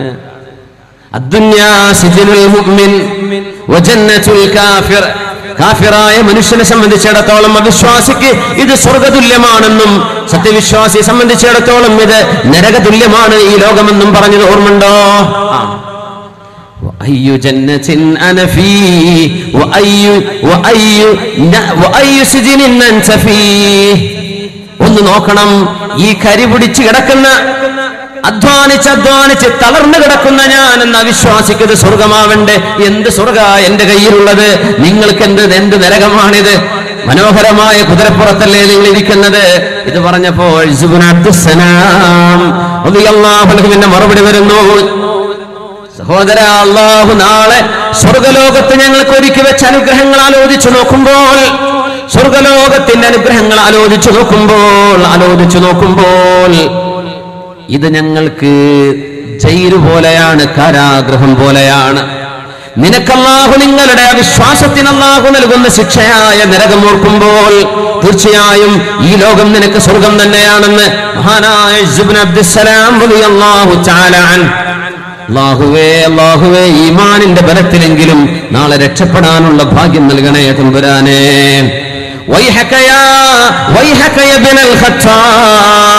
ഖത്താബിന്റെ മോനെ നാളെ അല്ലാഹു പട്ടുടയാളുകളും സ്വർഗീയ മെച്ചകളും നൽകുന്ന അലൽ ചാരിക്കട്ടിലിൽ കിടക്കുന്ന ഇടമാണത് വിശ്രമിക്കുന്ന ലോകമാണത്. എന്നാൽ ഉറക്കമില്ല. അവർ ചോദിച്ചു നബിയെ സ്വർഗത്തിൽ ഉറങ്ങുമോ? സ്വർഗത്തിൽ ഉറക്കമില്ല ഉറക്കമില്ല സ്വർഗത്തിൽ ഉറക്കമില്ല. എന്തുകൊണ്ട് നബിയെ? കാരണം അല്ലാഹു പറഞ്ഞില്ലയോ അവർക്ക് മരണമില്ല. സ്വർഗത്തിൽ ഉറക്കമെന്നത് മരണത്തിന്റെ ഒരു സഹോദരൻ തന്നെയാണല്ലോ. അതുകൊണ്ട് അതുകൊണ്ട് ഉറക്കം സ്വർഗത്തിലില്ല അവിടെ ഉണർവ് മാത്രമേ ഉള്ളൂ.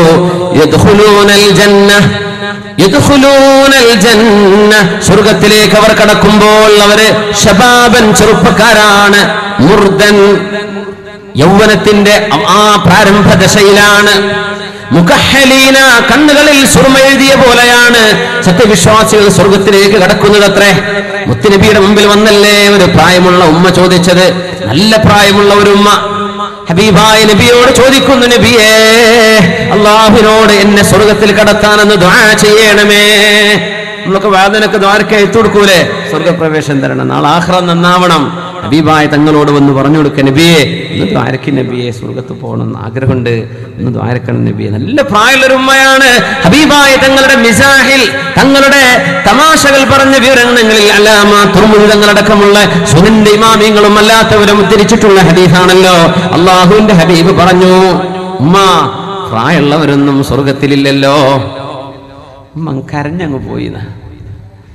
തങ്ങൾ വിളിച്ചവരെ ഉമ്മ ഞാൻ പറഞ്ഞത് ഞാൻ പറഞ്ഞത് പ്രായമുള്ള അവസ്ഥയിലല്ല നിങ്ങൾ സ്വർഗത്തിലേക്ക് കടക്കുന്നത്. നിങ്ങൾ സ്വർഗത്തിലേക്ക് വരുമ്പോൾ നല്ല യുവതിയായി. മുപ്പത്തിമൂന്ന് വയസ്സിന്റെ യൗവനത്തിലായി മുപ്പത്തിമൂന്ന് വയസ്സുള്ള യുവതിയായി നല്ല ആരോഗ്യമുള്ള ചെറുപ്പക്കാരിയായി അതിസുന്ദരിയായിട്ടാണ് ഉമ്മ നിങ്ങൾ സ്വർഗത്തിലേക്ക് വരുന്നത്. അഞ്ച് മിൻഹും അവിടെ പ്രായം ഉണ്ടാവില്ല പ്രായം വർദ്ധിക്കുകയുമില്ല പ്രായം കൂടൂല. ദുന്യാവിൽ പ്രായം കൂടാത്ത ഒരു കുട്ടരേ ഉള്ളൂ. നമ്മളെ പെണ്ണുങ്ങളെ. അവർക്ക് പ്രായം കൂടുന്നേ ഇല്ല. കഴിഞ്ഞ കൊല്ലം ഇരുപത്തഞ്ച് വയസ്സ് ഞാൻ ഈ കൊല്ലം അഞ്ചു കൊല്ലം കഴിഞ്ഞാൽ എത്രയുടെ എനിക്ക് വയസ്സ്? കുട്ടിക്ക് ഇരുപത്തിരണ്ടായിട്ടുണ്ടാവും. എനിക്കിപ്പോഴും ഇരുപത്തെട്ടന്നെ സ്വർഗത്തിലേ അത് നടക്കുള്ളൂ പെണ്ണുങ്ങൾ വെറുതെ ഇവിടെ മോഹിച്ചിട്ട് നുണ പറയണ്ട. വയസ്സങ്ങ് പറഞ്ഞാൽ എന്താ കുഴപ്പം? അല്ലേ? കുറച്ച് നേരത്തെ ഇവിടെ വന്നിട്ടുണ്ടെന്നല്ലേ അർത്ഥമുള്ളൂ. അപ്പോ സ്വർഗത്തിൽ വയസ്സ് കയറൂല അവിടെ വയസ്സ് കയറൂല മുപ്പത്തിമൂന്ന് അവിടെ നിൽക്കുന്നതാണ്. അതിനാണ് ക്രോണിക് ബാച്ചിലർ എന്ന് പറയാം. നമ്മുടെ സിനിമക്കാരൊക്കെ പേര് ഉപയോഗിച്ചിട്ടുണ്ടെന്ന് തോന്നുന്നുണ്ട്. ഈ ക്രോണിക് ബാച്ചിലർ എന്ന് പറഞ്ഞാൽ കാലാകാലം ബാച്ചിലറായി നിൽക്കുകയാണ്. അത് സ്വർഗത്തിലേ നടക്കുള്ളൂ. വെറുതെ മോഹിക്കേണ്ട. മോഹിച്ചോളൂ ആഹൃത്തിന് അമ്പൽ ചെയ്യാം. എന്നാ കിട്ടും? അവിടെ മുപ്പത്തിമൂന്ന് വയസ്സാണ്. പ്രായപൂർത്തിയായതിന്റെ ശേഷം മരിച്ചുപോയ മുഴുവൻ ആളുകളും അങ്ങനെയാണ്. എല്ലാ ദിവസവും അവർക്ക് സൗന്ദര്യം വർദ്ധിച്ചുകൊണ്ട് വർദ്ധിച്ചുകൊണ്ടിരിക്കും അത്രേ ലഹും സൂഖുൽ ജുമുഅ. അവിടെ ഒരു സൂഖുൽ ജുമുഅയുണ്ട്. ഗൾഫുകാർക്കൊക്കെ അറിയും ചിലപ്പോൾ സൂഖുൽ ജുമുഅ. ഒരുപാട് ഗൾഫ് രാജ്യങ്ങളിലുണ്ട് സൂഖുൽ ജുമുഅ. ഫ്രൈഡേ മാർക്കറ്റ് അത് സ്വർഗത്തിലുണ്ട് എന്ന് നബി ഞങ്ങൾ പറഞ്ഞു സല്ലല്ലാഹു അലൈഹി വസല്ലം. ആ കൺസെപ്റ്റ് ആയിരിക്കണം നമ്മൾ ഇങ്ങോട്ട് എടുത്തു കൊണ്ടുവന്നത്. അവിടെ ഒരു ഫ്രൈഡേ മാർക്കറ്റ് ഉണ്ട്. നബി ഞങ്ങൾ പറയാണ് പുതിയ സാധനങ്ങൾ മേടിക്കാൻ വേണ്ടി അവിടെ ചെല്ലും. എല്ലാം അവിടെയുണ്ട്. എല്ലാം فيها മാ തഷ്തഹീഹിൽ അൻഫുസു വതലദ്ദുൽ അയുൻ. കണ്ണുകൾക്ക് രോമാഞ്ചമുണ്ടാവുന്നതും ശരീരം എന്തൊക്കെ ആഗ്രഹിക്കുന്നുണ്ടോ എല്ലാം അവിടെയുണ്ട്. അങ്ങാടിയിൽ പോയി തിരിച്ചു വരുമ്പോ പെണ്ണുങ്ങൾ ചോദിക്കുന്നു? പുതിയാപ്പിളെ നിങ്ങൾക്ക് വല്ലാത്ത ചൊർക്ക് കൂടിയിട്ടുണ്ടല്ലോ. അങ്ങാടി പോയി വന്നപ്പോഴേക്കും പെണ്ണ് ചോദിക്കും അപ്പൊ അങ്ങോട്ട് അല്ലടി നിനക്കും വല്ലാത്ത ചുർക്ക് കൂടിയല്ലോ. ഞാനങ്ങ് പോയി വന്നപ്പോഴേക്കും അങ്ങനെ ഏട്ട കൂടിക്കൊണ്ടിരിക്കുന്ന ആ ചുറുക്ക്. ഇവിടെയൊക്കെ കുറഞ്ഞുകൊണ്ട് വരില്ല അവിടെ കൂടലാണ്. ഓരോ വെള്ളിയാഴ്ചയും അപ്ഗ്രേഡ് നടന്നുകൊണ്ടിരിക്കുന്ന സുഹാനല്ലാ അപ്പൊ പെണ്ണുങ്ങളെ ആലോചിക്കുക എന്തായാലും എന്താ പുതിയാപ്പിളാരെ ഹൂർലിങ്ങളൊപ്പം പോകും നമ്മളിപ്പോ എവിടെയാണാവോ? ഏ? ഉമ്മുസലം റളിയല്ലാഹുന്നയാണ് ചോദിച്ചത് ഹബീബായ നബി തങ്ങളോട് ചോദിക്കുന്നു യാ റസൂലല്ലാ നബിയേ അഹൂറുൽ ഐനി ഖൈറുൻ അം നിസാഉദ് ദുനിയാ? നബിയേ ഹൂറുല്ലീങ്ങളാണോ നബിയേ? നല്ലത് അതല്ല ദുനിയാവിലെ പെണ്ണുങ്ങളാണോ? ആരാണ് ഖൈറ്? നല്ലൊരു ചോദ്യമാണ്. പെണ്ണുങ്ങൾക്കൊക്കെ ഉണ്ടാവുക ചോദ്യം. ആണുങ്ങൾക്ക് പെണ്ണുങ്ങളുടെ ഇപ്പൊ നമ്മളെ പറ്റി പുതിയാപ്പിളാരുണ്ടെന്ന് പറയാത്തത്? അല്ല നമ്മളെ മറന്നുപോയോ? പെണ്ണുങ്ങൾ നിങ്ങളെ പറ്റി മറന്നിട്ടില്ല. എന്റെ മറുപടി നിങ്ങൾ കേട്ടിട്ടുണ്ടാവും. പല വിഷയങ്ങളും ചർച്ച ചെയ്തിട്ടുള്ളതാണ്. ഒന്നുമില്ല. പെണ്ണിനാണുണ്ട് എന്നൊക്കെ പറയുന്നത് ഒരു മോശമാണ്. അറബ് സംസ്കാരത്തിലും ഇസ്ലാമിക സംസ്കാരത്തിലും പെണ്ണിനാണുണ്ട് എന്ന് പറയുന്നത് അതല്ലാഹു മറച്ചു വെച്ചിരിക്കുകയാണ്. എവിടെയെന്നറിയോ ഒരറ്റായത്തിൽ അതിന്റെ ഉള്ളിൽ പെണ്ണുങ്ങൾക്ക് പുതിയാപ്പിളാരുണ്ടെന്നും വന്നു. അവർക്ക് അങ്ങനെ ആഗ്രഹം ഉണ്ടെങ്കിൽ നല്ല പുതിയാപ്പിള അവിടെ കിട്ടും. കല്യാണം കഴിച്ചു പോകാത്ത പെണ്ണുങ്ങളൊക്കെ ആയിരുന്നു. അവർക്ക് പുതിയാപ്പിള വേണമെന്ന ആഗ്രഹം അവിടെ കൊടുക്കുന്നു. ഒരറ്റായത്തിന്റെ ഉള്ളിൽ അള്ളാഹു വെച്ചു എന്നാണ് അതിൽ മനസ്സിലാക്കണം എന്ന്. ഫീഹാ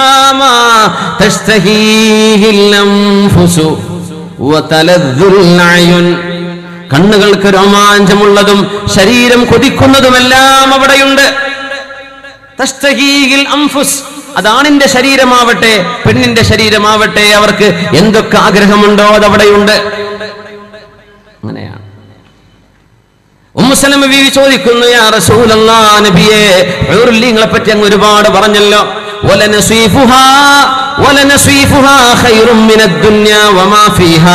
ഹൂറുല്ലീങ്ങളിൽപ്പെട്ട ഒരു പെണ്ണിന്റെ തലയിൽ വെക്കുന്ന ഒരു തട്ടം തന്നെ ഈ ലോകത്തെ എല്ലാ ആഡംബരത്തെക്കാളും ഹൈറെന്ന് മഹാനായ റസൂലുള്ളാഹി സ്വല്ലല്ലാഹു അലൈഹി വസല്ലം ഒരു പെണ്ണിന്റെ ഒരു തട്ടം കിട്ടിയാൽ ഈ പ്രപഞ്ചം മുഴുവൻ കിട്ടിയതിനേക്കാളും ഹൈറാണത്രേ ഹബീബായ റസൂലുള്ളാഹ്. വായ നല്ല ശുദ്ധമായവരാണ്. ദുർഗന്ധമമിക്കുന്നവരല്ല സുഗന്ധമുള്ളവരാണ്. അവരുടെ ഉമിനീരിൽപ്പെട്ട ഒരു ഉമിനീരെങ്ങാനും അള്ളാഹുവിന്റെ ഭൂമിയിലെ ഉപ്പുജലമുള്ള ജലാശയങ്ങളിൽ ഒരു തുള്ളി ഉമിനീര് വീണ് കഴിഞ്ഞാൽ സമുദ്രങ്ങളായ സമുദ്രങ്ങൾ മുഴുവനും മധുരമുള്ള ശുദ്ധജലമാകുമെന്ന് അഷ്റഫുൽ ഹൽക്ക് റസൂലുള്ളാഹ്. അവരെങ്ങാനും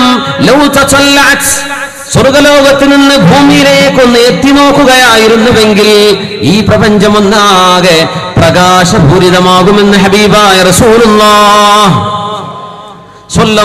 അലൈഹി വസല്ലം അവരാണല്ലോ ദുന്യാവിലെ പെണ്ണുങ്ങളോട് പറയുന്നത് സ്വന്തം ഭർത്താക്കന്മാരെ വിഷമിപ്പിക്കുകയോ? ഭർത്താക്കന്മാരെ പെണ്ണുങ്ങളെ വിഷമിപ്പിക്കരുത്. അതിന്റെ കൂടെ തന്നെ പറയാണ്. ഇതൊക്കെ നമുക്കുള്ളത് അവർക്കൊന്നുമില്ല. അങ്ങനെ വിചാരിക്കണ്ട. അവരോട് നമുക്ക് ബാധ്യതയുണ്ട്. പക്ഷേ ഏതെങ്കിലും ഒരു ഭാര്യയുടെ നാവിൽ നിന്ന് നന്ദികേടുള്ള പ്രയോഗങ്ങൾ ഭർത്താവിനോട് വരികയാണെങ്കിൽ നബി പറഞ്ഞൊരു ഹദീസ് ഓർമ്മ വരികയാണ്. ഇമാമുന നസായി റളിയല്ലാഹു അൻഹു ഇമാമുന ഹക്കിം എന്നവർ മുസ്നദിൽ ഉദ്ധരിച്ച ഒരു ഹദീസ്. ഒരു പെണ്ണങ്ങാനും ഭർത്താവിന്റെ മഹത്വവും ഭർത്താവിന്റെ പുണ്യവും ഭർത്താവിനോട് കാണിക്കേണ്ട ബഹുമാനവും ഒരു പെണ്ണിന് അറിയുകയാണെങ്കിൽ ഭർത്താവ് ഭക്ഷണം കഴിച്ച് എഴുന്നേൽക്കുന്നവരെ അവൾക്ക് ഇരിക്കാൻ കഴിയില്ല എന്ന് മറ്റൊന്ന് പറഞ്ഞു ശരീരത്തിലെ തലഭാഗത്ത് നിന്ന് കാലുവരെ ശരീരമാകെ മുറിവൊലിക്കുകയും ആ മുറിവിൽ നിന്ന് ഒലിച്ചു വീഴുന്ന രക്തവും വിസർജവുമെല്ലാം. സ്വന്തം നാവ് കൊണ്ട് ഭർത്താവിന് വൃത്തിയാക്കി കൊടുക്കുക ചെയ്താൽ പോലും. ഭർത്താവിനോട് ചെയ്യേണ്ട ബാധ്യത എപ്പോഴും വീടുന്നില്ല എന്ന് ഹബീബായ റസൂലുള്ള എന്തുകൊണ്ട് എന്തുകൊണ്ട് മോളെ പെണ്ണുങ്ങളെ സഹോദരിമാരെ നിങ്ങൾക്ക് പോവാനുള്ള സ്വർഗത്തിന്റെ താക്കോൽ അള്ളാഹുവിനെ ഭയപ്പെട്ട് ജീവിക്കുന്ന നിങ്ങളുടെ ഭർത്താവാണ്. കള്ളുകുടിയനായ ഭർത്താവല്ല. അന്യ പെണ്ണുങ്ങളെ നോക്കി നടക്കുന്ന ഭർത്താവല്ല അന്യ പെണ്ണുങ്ങളോട് വാട്സപ്പിൽ അക്കൗണ്ടുകൾ ഉണ്ടാക്കി ചാറ്റ് ചെയ്യുന്നവനല്ല.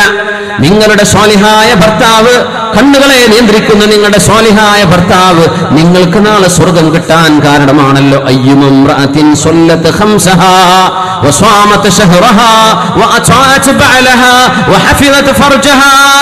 സ്വല്ലത്ത് ഖംസഹാ وصامت شهرها وأطاعت بعلها وحفظت فرجها قيل لها ادخلي من أي أبواب الجنة شئت ഏതെങ്കിലും ഒരു പെണ്ണ് അഞ്ചു നേരം നിസ്കരിക്കുകയും റമദാൻ നോമ്പെടുക്കുകയും ഭർത്താവിനെ അനുസരിക്കുകയും വ്യഭിചരിക്കാതെ ശരീരം സൂക്ഷിക്കുകയും ചെയ്താൽ قيل لها അവളോട് പറയപ്പെടും സ്വർഗത്തിന്റെ മിൻ സ്വർഗത്തിന്റെ എട്ട് കവാടങ്ങളിൽ അഷ്ടകട അഷ്ട വാതിലുകളിൽ കവാടങ്ങളിൽ എട്ട് കവാടങ്ങളിൽ ഏതിലൂടെ വേണോ നിനക്ക് കടന്നു പോകാമെന്ന് ആ പെണ്ണിനോട് പറയപ്പെടുമെന്ന് ഹബീബായ റസൂലുള്ളാഹ് ഹുറുലീങ്ങളെ സംബന്ധിച്ച് പറഞ്ഞപ്പോ ഉമ്മസലംബി പറയുകയാണ് നബിയേ നബിയേ അള്ളാഹുവിന്റെ റസൂലേ ആ പെണ്ണുങ്ങൾക്ക് ഇങ്ങനെയൊക്കെ മഹത്വമുണ്ടെങ്കിൽ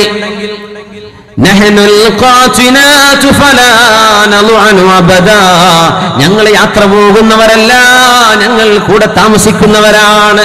ഞങ്ങൾ മടി വരുന്നവരല്ല ഞങ്ങൾ മടുപ്പിക്കുന്നവരുമല്ല എന്നവർ പാട്ടുപാടും. അവർ പാട്ടുപാടും ഹബീബായ നിബിതങ്ങൾ ആ പാട്ടുകളൊക്കെ മനോഹരമായി വിവരിച്ചിട്ടുണ്ട്. അവർ അവരെ സംബന്ധിച്ച് കണ്ണുകൾ ചിമ്മുന്നവരുണ്ട് പെണ്ണുങ്ങളിൽ. അന്യ ഒരു പുരുഷനെ അവർ നോക്കുന്നവരല്ല.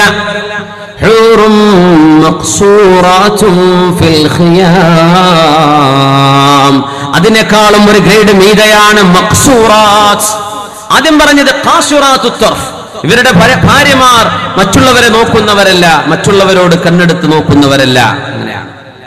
മറ്റുള്ളവർ ഭർത്താവ് ഉണ്ടായിരിക്കെ ഭർത്താവിന്റെ ഫോൺ വരുമ്പോൾ ബോറടിക്കാന്ന് പറഞ്ഞ് കാമുകന്റെ ഫോൺ എടുക്കാൻ വേണ്ടി ഇയാൾ നിർത്തൂലല്ലോ എന്ന് വിചാരിച്ച് ഗൾഫിൽ നിന്ന് വിളിക്കുന്ന ഭർത്താവിന്റെ ഫോൺ കാണുമ്പോഴേക്കും ഇറങ്ങി ഓടുന്ന പെണ്ണുങ്ങളുണ്ട് അത്ര. സുബാനല്ലാ ഭർത്താവ് അയച്ചു കൊടുക്കുന്നു പൈസ അവൾ ഇങ്ങനെ കാമുകൻ അയച്ചു കൊടുക്കുന്നു രണ്ടാളും കറങ്ങുന്നു വരുന്നു ആരും അറിയുന്നില്ല ചോദിക്കുന്നില്ല. കണ്ണുകൾ താഴെ വെക്കുന്നവരാണ്. അന്യ പുരുഷന്മാരിലേക്ക് അവർ നോക്കുന്നവരല്ല എന്ന് സ്വർഗവാസികൾക്ക് നൽകുന്ന ഒരു വിഭാഗം പെണ്ണുങ്ങളെ പറഞ്ഞപ്പോ ഖാസിറാത്ത് പിന്നെ പറഞ്ഞു ഹൂറും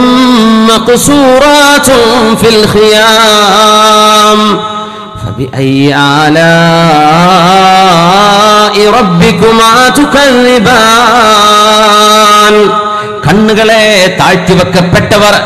ആദ്യം പറഞ്ഞ് അവർ കണ്ണ് താഴ്ത്തുകയാണ്. ഇനി പറയുന്നവർക്ക് കണ്ണ് പൊക്കാനേ കഴിയില്ല. അന്യരിലേക്ക് നോക്കാനേ കഴിയില്ല. അവരുടെ കണ്ണുകളെ അള്ളാഹു തന്നെ അങ്ങനെയാണ് സജ്ജീകരിച്ചത്. അത്രയും സ്വന്തം ഭർത്താവിന് മുഴുവൻ സ്നേഹം കൊടുക്കുന്ന പെണ്ണുങ്ങൾ അവിടെയുണ്ട്.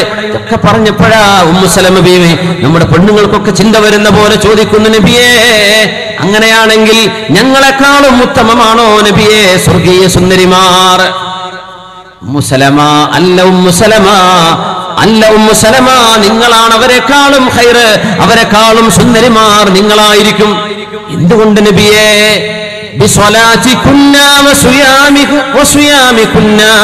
നിങ്ങളല്ലയോ നിസ്കരിച്ചത് നിങ്ങളല്ലയോ അള്ളാഹ്ക്ക് നോമ്പെടുത്തത് നിങ്ങളല്ലയോ മക്കളെ പോറ്റി വളർത്തിയത് നിങ്ങളല്ലയോ ത്യാഗം ചെയ്തത് ഇതൊന്നും ചെയ്യാത്തവർക്ക് തന്നെ അള്ളാഹു ഈ സൗന്ദര്യം നൽകുകയാണെങ്കിൽ ഇതൊക്കെ ചെയ്ത് നിങ്ങൾക്ക് അതിനേക്കാളും കൂടുതലാണ് എന്ന് മഹാനായ റസൂലുള്ളാഹി സ്വല്ലല്ലാഹു അലൈഹി വസല്ലം.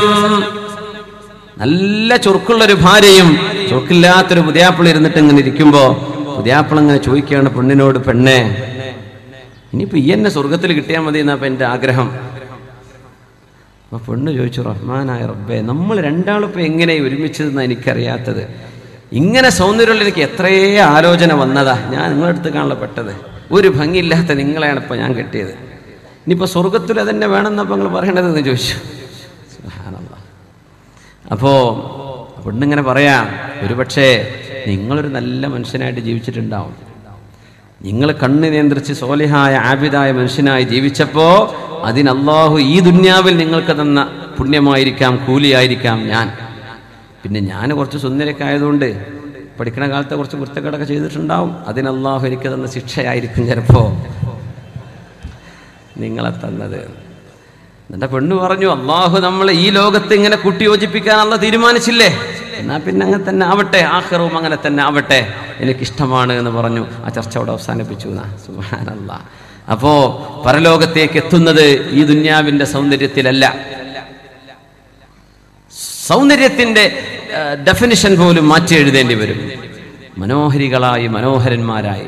പുരുഷന്മാരൊക്കെ മുർദുൻ താടിയൊന്നും ട്രിം ചെയ്യേണ്ട ആവശ്യം വരൂല എന്നാ താടി മീശക്ക് മീശക്കനെ മുളച്ചു വരുന്ന ഒരു പ്രായം ആ ഒരു മുറാഹിഖിന്റെ പ്രായം അമ്രത് എന്ന് പറയുന്ന ഒരു പ്രായമുണ്ട്. യൗവനത്തിലേക്ക് പടിയിറങ്ങി ഇറങ്ങി വരുന്ന ആ ഒരു ഒരു ടീനേജിന്റെ സമയത്ത് ഒരു ചെറിയ കൊച്ചുമീശ അത്രേ ഉണ്ടാവുള്ളൂ മുപ്പത്തിമൂന്ന് വയസ്സായാലും നല്ല ചെറുപ്പക്കാരനായിട്ട് ഇങ്ങനെ ഉണ്ടാവുന്നു. ആൾക്കാരൊക്കെ എന്തെങ്കിലും വല്ല പാസ്പോർട്ട് ഫോട്ടോ വേണമെന്നൊക്കെ പറഞ്ഞാലേ വല്ല സപ്ലിമെന്റിൽ ഫോട്ടോ വേണമെന്ന് പറഞ്ഞാലേ അറുപത് വയസ്സായാലും കൊടുക്കും മുപ്പത്തഞ്ച് വയസ്സിന്റെ ഫോട്ടോ.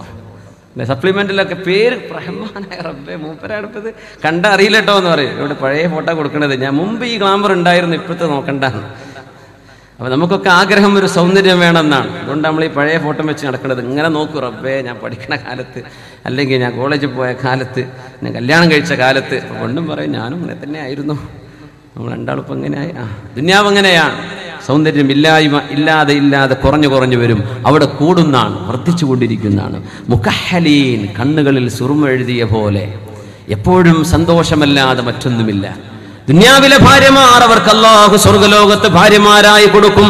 ഉമ്മുസലമ നിങ്ങൾ തന്നെയാണ് ഭൂരികളെക്കാളും സൗന്ദര്യമുണ്ടാവുക. നിങ്ങൾക്കാണ് അവരെക്കാളും പരിമളമുണ്ടാവുക.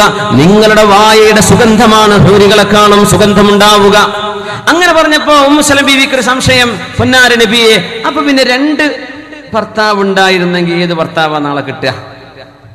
ഭർത്താവ് ഉണ്ടായിരുന്നു അയാൾ മരിച്ചുപോയി വേറെ ആളെ കല്യാണം കഴിച്ചു. അല്ലെങ്കിൽ ഭർത്താവ് ഉണ്ടായിരുന്നു അയാൾ തൊലാക്ക് ചൊല്ലിയിരുന്നു. അത് കൂട്ടൂല. മരിച്ചുപോയ ഭർത്താവ് വേറൊരാളെ കല്യാണം കഴിച്ചു. ഇതിപ്പോ ആരാ നബിയെ? ആരുടെ കൂടെ ആയിരിക്കും സ്വർഗത്തിൽ എത്തുക ഉണ്ടാവുക എന്ന് ചോദിച്ചു. നല്ല ചോദ്യമാണല്ലേ നബി തങ്ങൾ പറഞ്ഞു ആ രണ്ട് ഭർത്താക്കന്മാരിൽ ആർക്കായിരുന്നോ ഏറ്റവും നല്ല സ്വഭാവമുള്ളത്? നിങ്ങൾക്ക് അവരെ തിരഞ്ഞെടുക്കാൻ പറ്റും. നല്ല സ്വഭാവമുള്ള ഭർത്താവ് ആരായിരുന്നോ? രണ്ടിൽ ഒരാൾക്കൊരു വ്യത്യാസം ഉണ്ടാകുമല്ലോ. ഏറ്റവും നല്ല സ്വഭാവക്കാരൻ ആരായിരുന്നോ? അവരെ ആയിരിക്കും നിങ്ങളെന്ന് സ്വീകരിക്കുക. യാ ഉമ്മ സലമ ഈ ലോകത്തിന്റെയും പരലോകത്തിന്റെയും എല്ലാ നന്മകളും സൽസ്വഭാവം കൊണ്ടുപോയി മുസലമ എന്ന് മഹാനായ റസൂലുള്ളാഹി സ്വല്ലല്ലാഹു അലൈഹി വസല്ലം. സല്ലു അലൻ നബി മുഹമ്മദിൻ വആലിഹി سيدنا محمد وعلى آل سيدنا محمد وبارك وسلم عليه اللهم صل على سيدنا محمد وعلى آل سيدنا محمد وبارك وسلم عليه جزاكم الله خير ഇത് കഴിഞ്ഞിട്ട് നമുക്ക് സ്വർഗത്തിലെ വി ഐ പികൾക്ക് കിട്ടുന്ന ട്രീറ്റ്മെന്റ് എന്താണെന്നും കൂടെ പറഞ്ഞിട്ട് നമുക്ക് ചർച്ച അവസാനിപ്പിക്കാം. കാരണം ഇത് പറഞ്ഞു തീർക്കാൻ പറ്റുന്ന ഒരു വിഷയമല്ല. ഒരുപാട് ഒരുപാട് അവിടുത്തെ അവിടുത്തെ ഹസ്ബായിനെ കുറിച്ച് അവിടുത്തെ മരങ്ങളെക്കുറിച്ച് അവിടുത്തെ പുഴകളെക്കുറിച്ച് അവിടുത്തെ ചെടികളെക്കുറിച്ച് അവിടുത്തെ വാഹനങ്ങളെക്കുറിച്ച് ഒക്കെ ചോദിച്ചിട്ടുണ്ട്. ഒരു അറാബി വന്ന് ചോദിച്ചു യാ റസൂലല്ലാ അള്ളാഹുവിന്റെ നബിയെ സ്വർഗലോകത്ത് ഞങ്ങൾക്ക് വണ്ടി കിട്ടുമോ? വാഹനം കിട്ടുമോ? വണ്ടിയുടെ ക്രൈസ് ഉള്ളവരുണ്ടാവും. വാഹനം വലിയ ക്രൈസ് ഉള്ളവരുണ്ടാവും. അപ്പോൾ അവർക്ക് ആഗ്രഹം വണ്ടി കിട്ടുമോ നബിയുടെ കാറൊക്കെ ഉണ്ടാവോ? നല്ല മുന്തിയ തരം കുതിരകളുണ്ടോ നബിയെ? സ്വർഗത്തിൽ. നല്ല കുതിരകൾ ഉണ്ടാകുമോ അവരങ്ങനെയാ ചോദിച്ചിരുന്ന കാറുകൾ വരുമെന്ന് നബി ഞങ്ങൾ പറഞ്ഞൊരു ഹദീസുണ്ട് സല്ലല്ലാഹു അലൈഹി വസല്ലം. കാർ ഇന്നത്തെ അവസ്ഥയിലുള്ള കാറുകൾ അതേ ഡിസ്ക്രിപ്ഷനിലായി നബി തങ്ങൾ പറഞ്ഞൊരു ഹദീസുണ്ട്. എന്റെ ലഫ്ദിന്റെ കയ്യിലില്ല. അതുകൊണ്ട് ഞാൻ ആശയം പറയാൻ തങ്ങൾ പറഞ്ഞു ഒട്ടകക്കട്ടിലിൽ ചാരിയിരിക്കുന്ന പോലെ. മൃഗങ്ങളിലല്ലാതെ ഒട്ടകക്കട്ടിലിന്റെ സീറ്റിന്റെ സുഖത്തിൽ യാത്ര ചെയ്യാൻ പറ്റുന്ന ഒരു കാലം വരും. ആ വാഹനത്തിൽ പുരുഷന്മാർ യാത്ര ചെയ്യും. അവർ പള്ളിയുടെ മുമ്പിൽ ചെന്ന് ഇറങ്ങും. വാഹനത്തിൽ ഇറങ്ങും പള്ളിയുടെ മുമ്പിൽ ചെന്ന് ഇറങ്ങും. അവരുടെ പെണ്ണുങ്ങൾ കാസിയാത്തുൻ ആരിയാത്ത്. അവരുടെ പെണ്ണുങ്ങൾക്ക് വസ്ത്രമൊന്നും ഉണ്ടാവില്ല. ഭർത്താവ് പള്ളി കമ്മിറ്റിക്കാരനായിരിക്കും. അതിന്റെ അർത്ഥം. അങ്ങനത്തെ ഒരു കാലം വരും. സയ്യാറാത്തിനെ കുറിച്ചായിരിക്കണം എന്ന് ആധുനികരായ അലിമീങ്ങൾ ആ ഹദീത്തിനെ കുറിച്ച് പറയാറുണ്ട്. മെത്തകളിലായി ഇരിക്കുന്ന വാഹനങ്ങൾ. എന്നാൽ മൃഗമല്ല. സുബ്ഹാനല്ലാ. ഇതൊക്കെ പറഞ്ഞു പോയിട്ടുണ്ട് മുത്തനബി സ്വന്തം വഹീന്റെ വെളിച്ചത്തിൽ. അവർ ചോദിച്ചു നബിയേ നാളെ പരലോകത്ത് കുതിരകളുണ്ടോ? വാഹനമുണ്ടോ? നിബിതങ്ങൾ പറഞ്ഞു സ്വർഗവാസിയായ ആൾക്ക് യാത്ര ചെയ്യണമെന്ന ആഗ്രഹമുണ്ടാവുകയേ വേണ്ടു. ഒരു കുതിര വരികയായി അതിന് ചിറകളുണ്ടാവും. സ്വർഗലോകത്ത് എവിടെ വേണോ അവന് പറന്നു പോകാൻ കഴിയും. സ്വർഗലോകത്ത് ഉദ്ദേശിക്കുന്നിടത്ത് മുഴുവനും പറന്നു നടക്കാൻ കഴിയുന്ന ചിറകുകളുള്ള വാഹനങ്ങൾ അല്ലാഹു നാളെ സ്വർഗലോകത്ത് നൽകുമെന്ന് മഹാനായ റസൂലുള്ളാഹി സ്വല്ലല്ലാഹു അലൈഹി വസല്ലം. അപ്പൊ ഒരു സഹാബി വന്ന് ചോദിച്ചു നബിയേ അവിടെ കൃഷി ഇറക്കാൻ പറ്റുമോ? നബിയേ നല്ല കർഷകനായിരുന്നു അവിടെ കൃഷി ഉണ്ടാവോ നബിയെ? ഓരോരുത്തർക്ക് അവരുടെ ഇഷ്ടല്ലേ? നബി ഞങ്ങൾ പറഞ്ഞു അവിടെ കൃഷിയുണ്ട്. അള്ളാഹു നൽകുന്ന അവിടുത്തെ സൗകര്യങ്ങളൊന്നും മതിയാഞ്ഞിട്ടാണോ കൃഷി വേണമെന്ന് ചോദിക്കുന്നത്? അവിടെ കൃഷിയുണ്ട്. വിത്തിറക്കുന്നതും മുളക്കുന്നതും കൊയ്തെടുക്കുന്നതും ഒരേ നേരത്ത് തന്നെ. ഇത് പറഞ്ഞപ്പോ ആരാവി പറഞ്ഞു പൊന്നാര നബിയേ കൃഷി വേണമെന്ന് ചോദിക്കുന്ന ആ മനുഷ്യൻ നബി തങ്ങൾ പറഞ്ഞു നാളെ പരലോകത്തെ സ്വർഗലോകത്തെ എനിക്ക് കൃഷി വേണം എന്നൊരാൾ അള്ളാഹുവിനോട് പറയുന്ന അപ്പോഴല്ലാഹു പറയുന്ന വാക്ക് അതുപോലെ എന്നാൽ അള്ളാഹു പറയും എന്നാ നീ കൃഷി വിത്തിറക്കിക്കോ അത് പൊങ്ങുന്നു കൊയ്തെടുക്കുന്നു. റസൂലുള്ളാഹി സ്വല്ലല്ലാഹു അലൈഹി വസല്ലം തങ്ങൾ ചിരിച്ച ഒരു സംഭവമാണിത്. തങ്ങൾ ചിരിച്ച ഫീഹി അലൈഹി വസല്ലം. അങ്ങനെ തന്നെ കിതാബുകളുണ്ട്. തങ്ങൾ ചിരിച്ച സന്ദർഭങ്ങൾ മാത്രം പറയുന്ന കിതാബുകളുണ്ട്. തങ്ങൾ എവിടെയൊക്കെ ചിരിച്ചു? സ്വല്ലല്ലാഹു അലൈഹി വസല്ലം. അതിലൊന്നാണിത്. അപ്പോൾ നാളെ അള്ളാഹുവിനോട് അവിടെ വെച്ച് സ്വർഗത്തിൽ വെച്ച് ചോദിക്കുന്നു റബ്ബെ കൃഷി ചെയ്യാൻ വല്ല ഒപ്പുണ്ടോ എന്ന് ചോദിച്ചു. അപ്പൊ അള്ളാഹു പറയാണ് അള്ളാഹു കൊടുത്ത മറുപടിയാണ്. അള്ളാഹുവിന്റെ മറുപടി വരുന്നു. ആ കൃഷി ചെയ്തോളൂ. പക്ഷേ വിത്തിറക്കലും മുളക്കലും കൊയ്തെടുക്കലും ഒക്കെ ഒരു ദിവസം തന്നെ എല്ലാം ഒറ്റടിക്ക് തീരും. ഇത് പറഞ്ഞപ്പോ സദസ്സിലുള്ള ഒരു ആറാബി പറഞ്ഞു പൊന്നാര നബിയെ ആ ചോദിക്കുന്ന ആൾ ഒന്നുകിൽ കുറേശി ആയിരിക്കും അല്ലെങ്കിൽ അൻസാരി ആയിരിക്കും നബിയെ. ഇവരാണല്ലോ കൃഷിക്കാര്. ഞങ്ങൾ കാട്ടറബികളായി നടക്കണ ഞങ്ങളൊന്നും ഈ പണിക്കൊന്നും പോകാറില്ല എന്ന് പറഞ്ഞു. ആ ചോദിക്കണത് ഒരു കുറേശി ആയിരിക്കും അല്ലെങ്കിൽ ഒരു അൻസാരി ആയിരിക്കും. ലഹിക്ക റസൂലുള്ളാഹി സ്വല്ലല്ലാഹു അലൈഹി വസല്ലം. തങ്ങൾ ചിരിച്ചു സ്വല്ലല്ലാഹു അലൈഹി വസല്ലം. തങ്ങൾ അങ്ങനെയായിരുന്നു. സ്വഹാബത്തിന്റെ കൂടെ നിസ്കാരം കഴിഞ്ഞ് സുബഹി നിസ്കാരം കഴിഞ്ഞാൽ യജ്ലിസു മഅഹും. സ്വഹാബികൾ പറയാ തങ്ങൾ ഞങ്ങളുടെ കൂടെ ഇരിക്കും. ഞങ്ങളന്ന് ഇരുന്ന് പലതും പറയും നബി ഞങ്ങളുടെ കൂടെ ഇരിക്കും. നബി വലിയൊരാളാന്ന് വിചാരിച്ച് ഗൗരവത്തിൽ ശ്വാസം പിടിച്ച് നബി ഇരിക്കൂല. ദഖർനൽ ജാഹിലിയ ഞങ്ങൾ ജാഹിലിയ കാലത്തെ പല വിറ്റും പറയും. നബി ഞങ്ങൾ അതൊക്കെ കേട്ട് ഇങ്ങനെ ചിരിക്കും സ്വല്ലല്ലാഹു അലൈഹി വസല്ലം. ദുന്യാവിന്റെ വിഷയമെന്നാൽ കൂടെ കൂടി പറഞ്ഞു തരും. കച്ചവടം പറയും നബി ഞങ്ങളുടെ കൂടെ കൂടി. അതിന്റെ കാര്യങ്ങൾ പറയും. ആഹ്റം എന്നാ നബി അത് പറഞ്ഞു തരും. ഞങ്ങളുടെ വർത്തമാനത്തിൽ നബി ഞങ്ങൾ കൂടി ചിരിക്കുമായിരുന്നു കൂടുമായിരുന്നുവെന്ന് സ്വഹാബികൾ ഹബീബിനെ കുറിച്ച് പറഞ്ഞിട്ടുണ്ട്. സല്ലല്ലാഹു അലൈഹി വസല്ലം. അങ്ങനെയാണ്. അങ്ങനെയാണ്. പണ്ഡിതന്മാരായ ആളുകളൊക്കെ സാധാരണക്കാരുമായി ഇടപഴകുമ്പോഴേ സാധാരണക്കാരുടെ ലോകം അവരുടെ ചിന്തകൾ പലതുമായിരിക്കും അതിലേക്ക് കൂടി അതുമായി ബന്ധപ്പെട്ട് അവരുടെ കൂടെ ഇരുന്ന് വർത്താനം പറയണമെന്ന് ഹബീബായ തങ്ങൾ അത് കാണിച്ചു തന്നു. പല അവസര അവസ്ഥകളിലും ഹബീബായ തങ്ങൾ പറയാൻ അല ഇന്നസിൽ അച്ചല്ലാഹി സ്വർഗം വിലപിടിപ്പുള്ളതാണ്. സ്വർഗം വിലപിടിപ്പുള്ളതാണ്. സഅദ് ഇബ്നു ഖൈഥമ റളിയല്ലാഹു തആല അൻഹു വാപ്പയും സുഹാബിയാണ് മകനും സുഹാബിയാണ് സഅദ് എന്നവര് സുഹാബിയാണ് ഹൈഹമ എന്നവരും സുഹാബിയാണ് ബദ്രീതം അസന്നമാകുന്നു അള്ളാഹുവിന്റെ ഹബീബ് സൊല്ലാഹു അലൈഹി വസല്ലമ തങ്ങൾ ബദറിലേക്ക് വിളിക്കുമ്പോ സഅദ് അള്ളാഹുനും വാപ്പയും പറഞ്ഞു നമ്മൾ രണ്ടുപേരും യുദ്ധത്തിന് പോവുക. രണ്ടാണുങ്ങളെ വീട്ടിലുള്ളൂ. ഒന്ന് വാപ്പയാണൊന്ന് മോനാണ്. പിന്നെ കുറെ അഞ്ചെട്ട് പെങ്ങന്മാരുണ്ട്. വാപ്പാക്ക് ഒന്നിലേറെ ഭാര്യമാരുമുണ്ട്.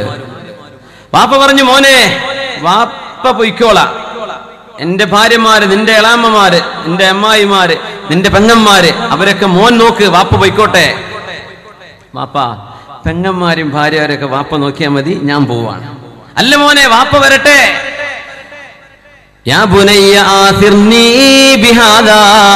ഈ യുദ്ധത്തിലേക്ക് വാപ്പ പോട്ടെ മോനെ. മോനെ അടുത്തു വരാനുള്ള വല്ല അവസരവും കിട്ടുമല്ലോ വാപ്പാക്ക് പ്രായമായില്ലേ വാപ്പ പോട്ടെ വീട്ടുകാരെ നിന്നെ ഏൽപ്പിക്കട്ടെ. മോനെ നമ്മൾ രണ്ടുപേരും പോയാൽ ഇവരാരാണ് നോക്കാനുണ്ടാവുക? അതുകൊണ്ട് വാപ്പ പോകട്ടെ. മോൻ പറഞ്ഞു ഉപ്പാ പോവാൻ പറ്റില്ല ഉപ്പാ പോവാൻ പറ്റില്ല. നമുക്ക് നറുക്കിട. എനിക്ക് പോണം. ഇത് സ്വർഗമാണ് ഉപ്പാ എനിക്ക് പോകണം. നറുക്കിട്ടു ആര് പോണെന്ന്? വിസ വന്ന് ഗൾഫിക്ക് ഒരാക്കേ ചാൻസ് ഉള്ളൂ എന്ന് പറഞ്ഞാൽ പോക്കല്ലത്. അത് ഞാൻ പോയിക്കോളാം. ഞാൻ അതല്ല മരണത്തിലേക്ക് സ്വർഗത്തിലേക്ക് പോവാണ്. ഷഹാദത്ത് വരിക്കാൻ പോവാണ്. ബദറിലേക്കാണ് വിളിക്കുന്നത്. ബദർ പൈദാ കർ ഫരിഷ്തേ उतर सकते हैं से മാലാഖമാർ. സഫ് സഫായി ഇറങ്ങി വന്ന ലോകമാണ് ബദറിന്റെ ലോകം. ബദറിലേക്കാണ് മലക്കുകൾ സഫ് സഫായി ഇറങ്ങി വന്നത്. അവിടേക്കാ പോണത്. മലക്കുകൾ ഇറങ്ങുന്ന ലോകം. മണ്ണാർക്കാട് മലക്കുകൾ ഇറങ്ങുന്നൊക്കെ പറഞ്ഞില്ലേ? മലക്കൾക്ക് വേറെ പണിയൊന്നുമില്ലേ? അള്ളാഹുവിന്റെ മലാഖ മാറിയുമാനുള്ള മുഗ്മിനീങ്ങളെ സഹായിക്കാൻ ബദറിലേക്ക് ഇറങ്ങി വന്നു. ഇപ്പോഴും ആ മാലാഖമാർ ഇറങ്ങാൻ ഇടയുണ്ട് എന്ന് അല്ലാമായ കബാലിന്റെ വാക്കുകളിൽ ഈമാൻ ഒരുക്കി വെച്ചാൽ ഈമാനിന് വേണ്ടി പണിയെടുക്കുന്നവരുടെ കൂടെ മലക്കുകൾ ഉണ്ടാകും. പരിശുദ്ധമായ ബദറിലേക്കാണ് സാദബിന് അള്ളാഹുന് പോകുന്നത്. നറുക്കിട്ടു നറുക്ക് വീണത് സായദ് എന്നവർക്കാണ്. വാപ്പ പറഞ്ഞു മോനെ സാദേ എന്നെ വിളിക്കു മോനെ. മോൻ പോവല്ല. അത് വാപ്പാക്കുതാ വാപ്പ പോകട്ടെ. യാ അബതി ഉപ്പാ ലൗലൽ ജന്ന ഉപ്പാ ഇത് സ്വർഗത്തിന്റെ വിഷയമല്ലായിരുന്നുവെങ്കിൽ സ്വർഗമല്ലായിരുന്നുവെങ്കിൽ ഉപ്പാ ഞാൻ ഉപ്പാനെ വിട്ടേനെ പക്ഷേ സ്വർഗമല്ലേ ഇത് ഞാൻ ആർക്കും വിട്ടുകൊടുക്കില്ല എന്ന് പാപ്പയോട് പറഞ്ഞ അൻഹു ബദറിലേക്ക് ചെന്ന് ഷഹീദായ അള്ളാഹുവിന്റെ ഹബീബിന്റെ സഅദ് ഇബ്നു ഖൈസമ. വാപ്പാക്ക് അവസരം ലഭിക്കുന്നു. വന്നപ്പോ ബദറിലേക്ക് പോകണമെന്ന് കൊതിച്ചു. ബദർ ചാല പ്രത്യേകമായ സഹായം ഇറക്കി വിജയിപ്പിച്ച യുദ്ധമാണ്. ബദറിലേക്ക് പോകുമ്പോഴാണ് ഉപ്പാ ലൗലൽ ജന്ന ഇത് സ്വർഗത്തിന്റെ വിഷയമാണ് ഉപ്പാ. അല്ലെങ്കിൽ ഞാൻ ഉപ്പാനെ വിട്ടേനെ ഇത് വിട്ടുതരില്ല എനിക്ക് വേണം. എനിക്ക് വേണം ഇത് സ്വർഗമാണ് സ്വർഗത്തിന്റെ വിഷയമാണ്. ഉഹദ് വന്നപ്പോഴാണ് റളിയല്ലാഹു അൻഹു ഉഹദിലേക്ക് പോയി ഷഹീദായ സുഹാബിയാണ് റളിയല്ലാഹു അൻഹു. കാലിന് മുടന്തുള്ള സുഹാബി അമ്രുബുൽ ജമൂഹ് റളിയല്ലാഹു അൻഹു വന്നിട്ട് പറഞ്ഞു നബിയേ യാ റസൂലല്ലാഹ് നബിയേ കുതിച്ചു പോകുന്നു നബിയേ അൻ അദ്ഖുലൽ ജന്ന അൻ അളഅ അൻ അളഅ ബിഖദമി ബിഅർജതി ഹാദിഹി അൽ ജന്ന. സ്വർഗത്തിലേക്ക് എന്റെ മുടന്തം കാലുകൊണ്ട് തന്നെ ഒന്ന് ചവിട്ടണമെന്ന് ആഗ്രഹമുണ്ട് നബിയേ. വേച്ച് വേച്ച് നടക്കുന്ന ശരിക്ക് നിവർന്ന് നടക്കാൻ കഴിയുമായിരുന്നു കഴിയ കഴിയുമായിരുന്നില്ലാത്ത മഹാനായ അമ്രുബുൽ ജമൂഹ് റളിയല്ലാഹു അൻഹു തആല ഇളവ് കൊടുത്തിട്ടുണ്ട്. യുദ്ധനിർബന്ധമില്ല. എന്നാലും വേണം എനിക്കൊന്ന് വരണമെന്ന് ഷഹീദാവണമെന്ന് കൊതിച്ചു വന്ന് സ്വർഗം വാങ്ങിയ നെറ്റിയിൽ ഇങ്ങനെ കൈവച്ചുകൊണ്ടല്ലേ കടന്നത്? നെറ്റിയിൽ കൈവച്ചുകൊണ്ടാ കടന്നത്? വഫാത്താകുന്ന സമയത്ത് അങ്ങനെയാണ് പിന്നെ മറവ് ചെയ്തത് അങ്ങനെയാണ് കഫൻ ചെയ്തത് അങ്ങനെയാണ്. നാൽപ്പത് കൊല്ലം കഴിഞ്ഞ് ഉഹദിന്റെ മലയിൽ മഴവെള്ളം വന്ന കബർ പുറത്തായപ്പോഴും അമ്രുബൽ ജമ്മൂഹ് തങ്ങൾ അങ്ങനെ തന്നെ കണ്ടുവല്ലോ. ശുദ്ധമായ ഹദീസിന്റെ ചരിത്ര അസറുകളുടെ കിതാബുകളിൽ കാണാൻ കഴിയും. അങ്ങനെ തന്നെ നാൽപ്പത് കൊല്ലം കഴിഞ്ഞപ്പോഴും കഫം പുട പോലും നീങ്ങിപ്പോയിട്ടില്ല. കൈ അങ്ങനെ തന്നെയുണ്ട്. ആ കൈയൊന്ന് നിവർത്തി നോക്കാൻ പറ്റുമോ എന്ന് ഒന്ന് ശ്രമിച്ചു നോക്കി. ജാബിർ ഇബ്നു അബ്ദുല്ലാഹി റളിയല്ലാഹു അൻഹു. കാരണം ജാബിർ അൻഹുവിന്റെ വാപ്പയും ഇബ്നു ജമൂഹ് എന്നിവരും ഒരു ഖബറിലാണെന്ന് കടന്നത് രണ്ടുപേരും ഉഹദിന്റെ ശുഹദാക്കളാണ്. നാൽപ്പത് കൊല്ലം കഴിഞ്ഞ് ആ സുഹാബിയുടെ കൈ ഞാനൊന്ന് നിവർത്താൻ നോക്കുമ്പോൾ ആ നെറ്റിയിൽ മുറിവ് തട്ടിയ നെറ്റിയിൽ കൈവച്ച് കിടന്ന കിടപ്പായിരുന്നവത് കൈയെടുത്തപ്പോഴേക്കും കൈ വലിച്ചപ്പോഴേക്കും ആ നെറ്റിയിൽ നിന്ന് ചോര പൊടിഞ്ഞത് ഞാൻ കണ്ടു എന്ന് മഹാനായ ജാബിർ ഇബ്നു അബ്ദുല്ലാഹി റളിയല്ലാഹു അൻഹു لا تحسبن الذين قتلوا في سبيل الله أمواتا بل أحياء عند ربهم يرزقون അള്ളാഹുവിന്റെ വഴിയിൽ ഷഹീദാകുന്നവർ സ്വർഗപ്രവേശം ലഭിക്കുന്ന മഹത്തുക്കളാണ്. അള്ളാഹുവിന്റെ അടുത്തവർ ജീവിച്ചിരിക്കുന്നവരാണ്. മരിച്ചവരെന്ന് വിചാരിക്കല്ലേ? ആരാണത്? കാലിന് മുടന്തുണ്ടായിട്ട് പോവേണ്ടതില്ല എന്ന് പറഞ്ഞിട്ടും ഓടിച്ചെന്നു പോയ അമ്രുബുൽ അല്ലയോ? കയ്യിൽ കാരൊക്കെ പിടിച്ച് ഇങ്ങനെ നിൽക്കുമ്പോ?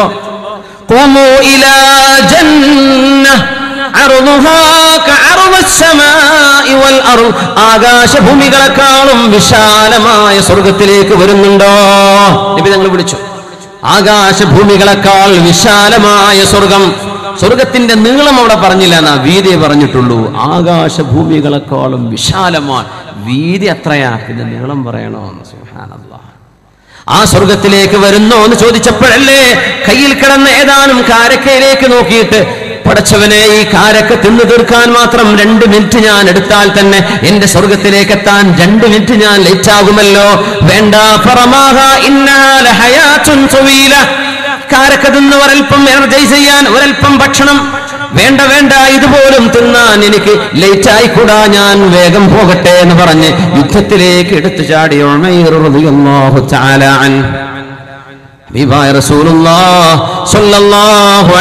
തങ്ങളുടെ പ്രിയപ്പെട്ട കസിൻ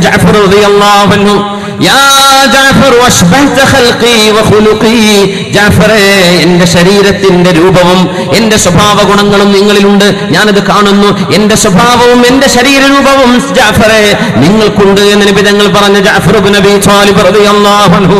മൂർത്തയിൽ ഷഹീദായ വിവരം അള്ളാഹുവിന്റെ ഹബീബ് കേൾക്കുന്നു. ഹബീബായ തങ്ങൾ മദീന മിമ്പറിൽ കയറിയിട്ട് പറയുന്നു സുഹാബ മൂച്ചയിൽ എന്റെ പ്രിയപ്പെട്ട അബ്ദുല്ലാഹ് ഷഹീദായി. മൂച്ചയിൽ മഹാനായ സുഹാബി ജാഫർ ഇബ്നു ചോലിബ് എന്നിവരും ഷഹീദായിട്ടുണ്ട്. ഹബീബായ നബി തങ്ങൾ മൂത്തയുടെ യുദ്ധത്തിന്റെ കഥ വിവരിക്കുന്നു. നേരെ പോകുന്നു ജാഫർ എന്നവരുടെ വീട്ടിലേക്ക്. കൊച്ചുമക്കളുണ്ട് കൽഫിറാഹ് പക്ഷിക്കുഞ്ഞുങ്ങളെ പോലെ എന്നാണ് ഹദീസിൽ കാണാം. ചെറിയ കൊച്ചുമക്കൾ പറക്കമുറ്റാത്ത മക്കൾ എന്ന് പറയില്ലേ? കൊച്ചുമക്കൾ ആ മക്കൾ വാപ്പയെ കാത്തിരിക്കുന്നു. വാപ്പയുടെ മുഖം റസൂലുള്ളാന്റെ മുഖമാണ്. അലൈഹി വസല്ലം. വാപ്പയുടെ സ്വഭാവം റസൂലുള്ളാന്റെ സ്വഭാവമാണെന്ന് നബി തങ്ങൾ തന്നെ പറഞ്ഞതാണ്. ഹബീബായ തങ്ങൾ വരുമ്പോ ഹബീബായ തങ്ങൾ വരുമ്പോ മഹദി ജാഫർ എന്നവരുടെ പ്രിയപ്പെട്ട ഭാര്യ അവിടെയുണ്ട്. മക്കളെയൊക്കെ കുളിപ്പിച്ച് റെഡിയാക്കിയിട്ടുണ്ട്.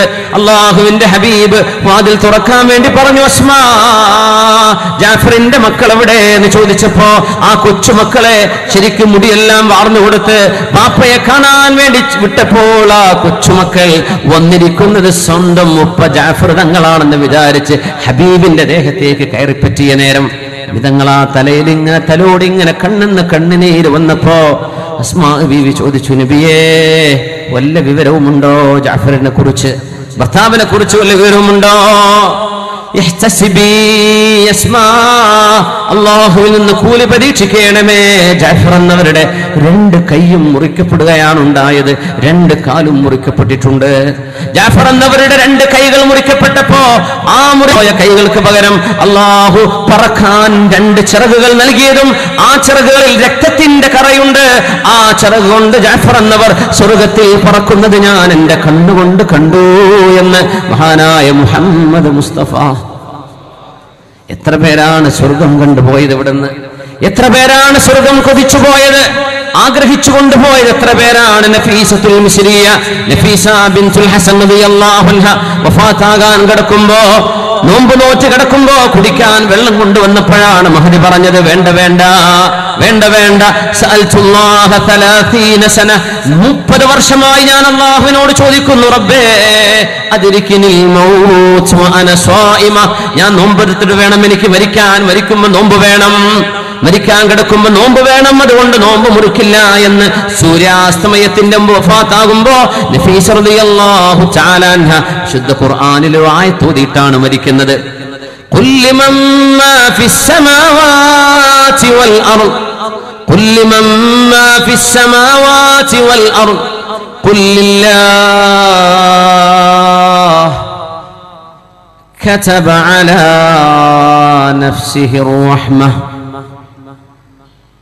fatah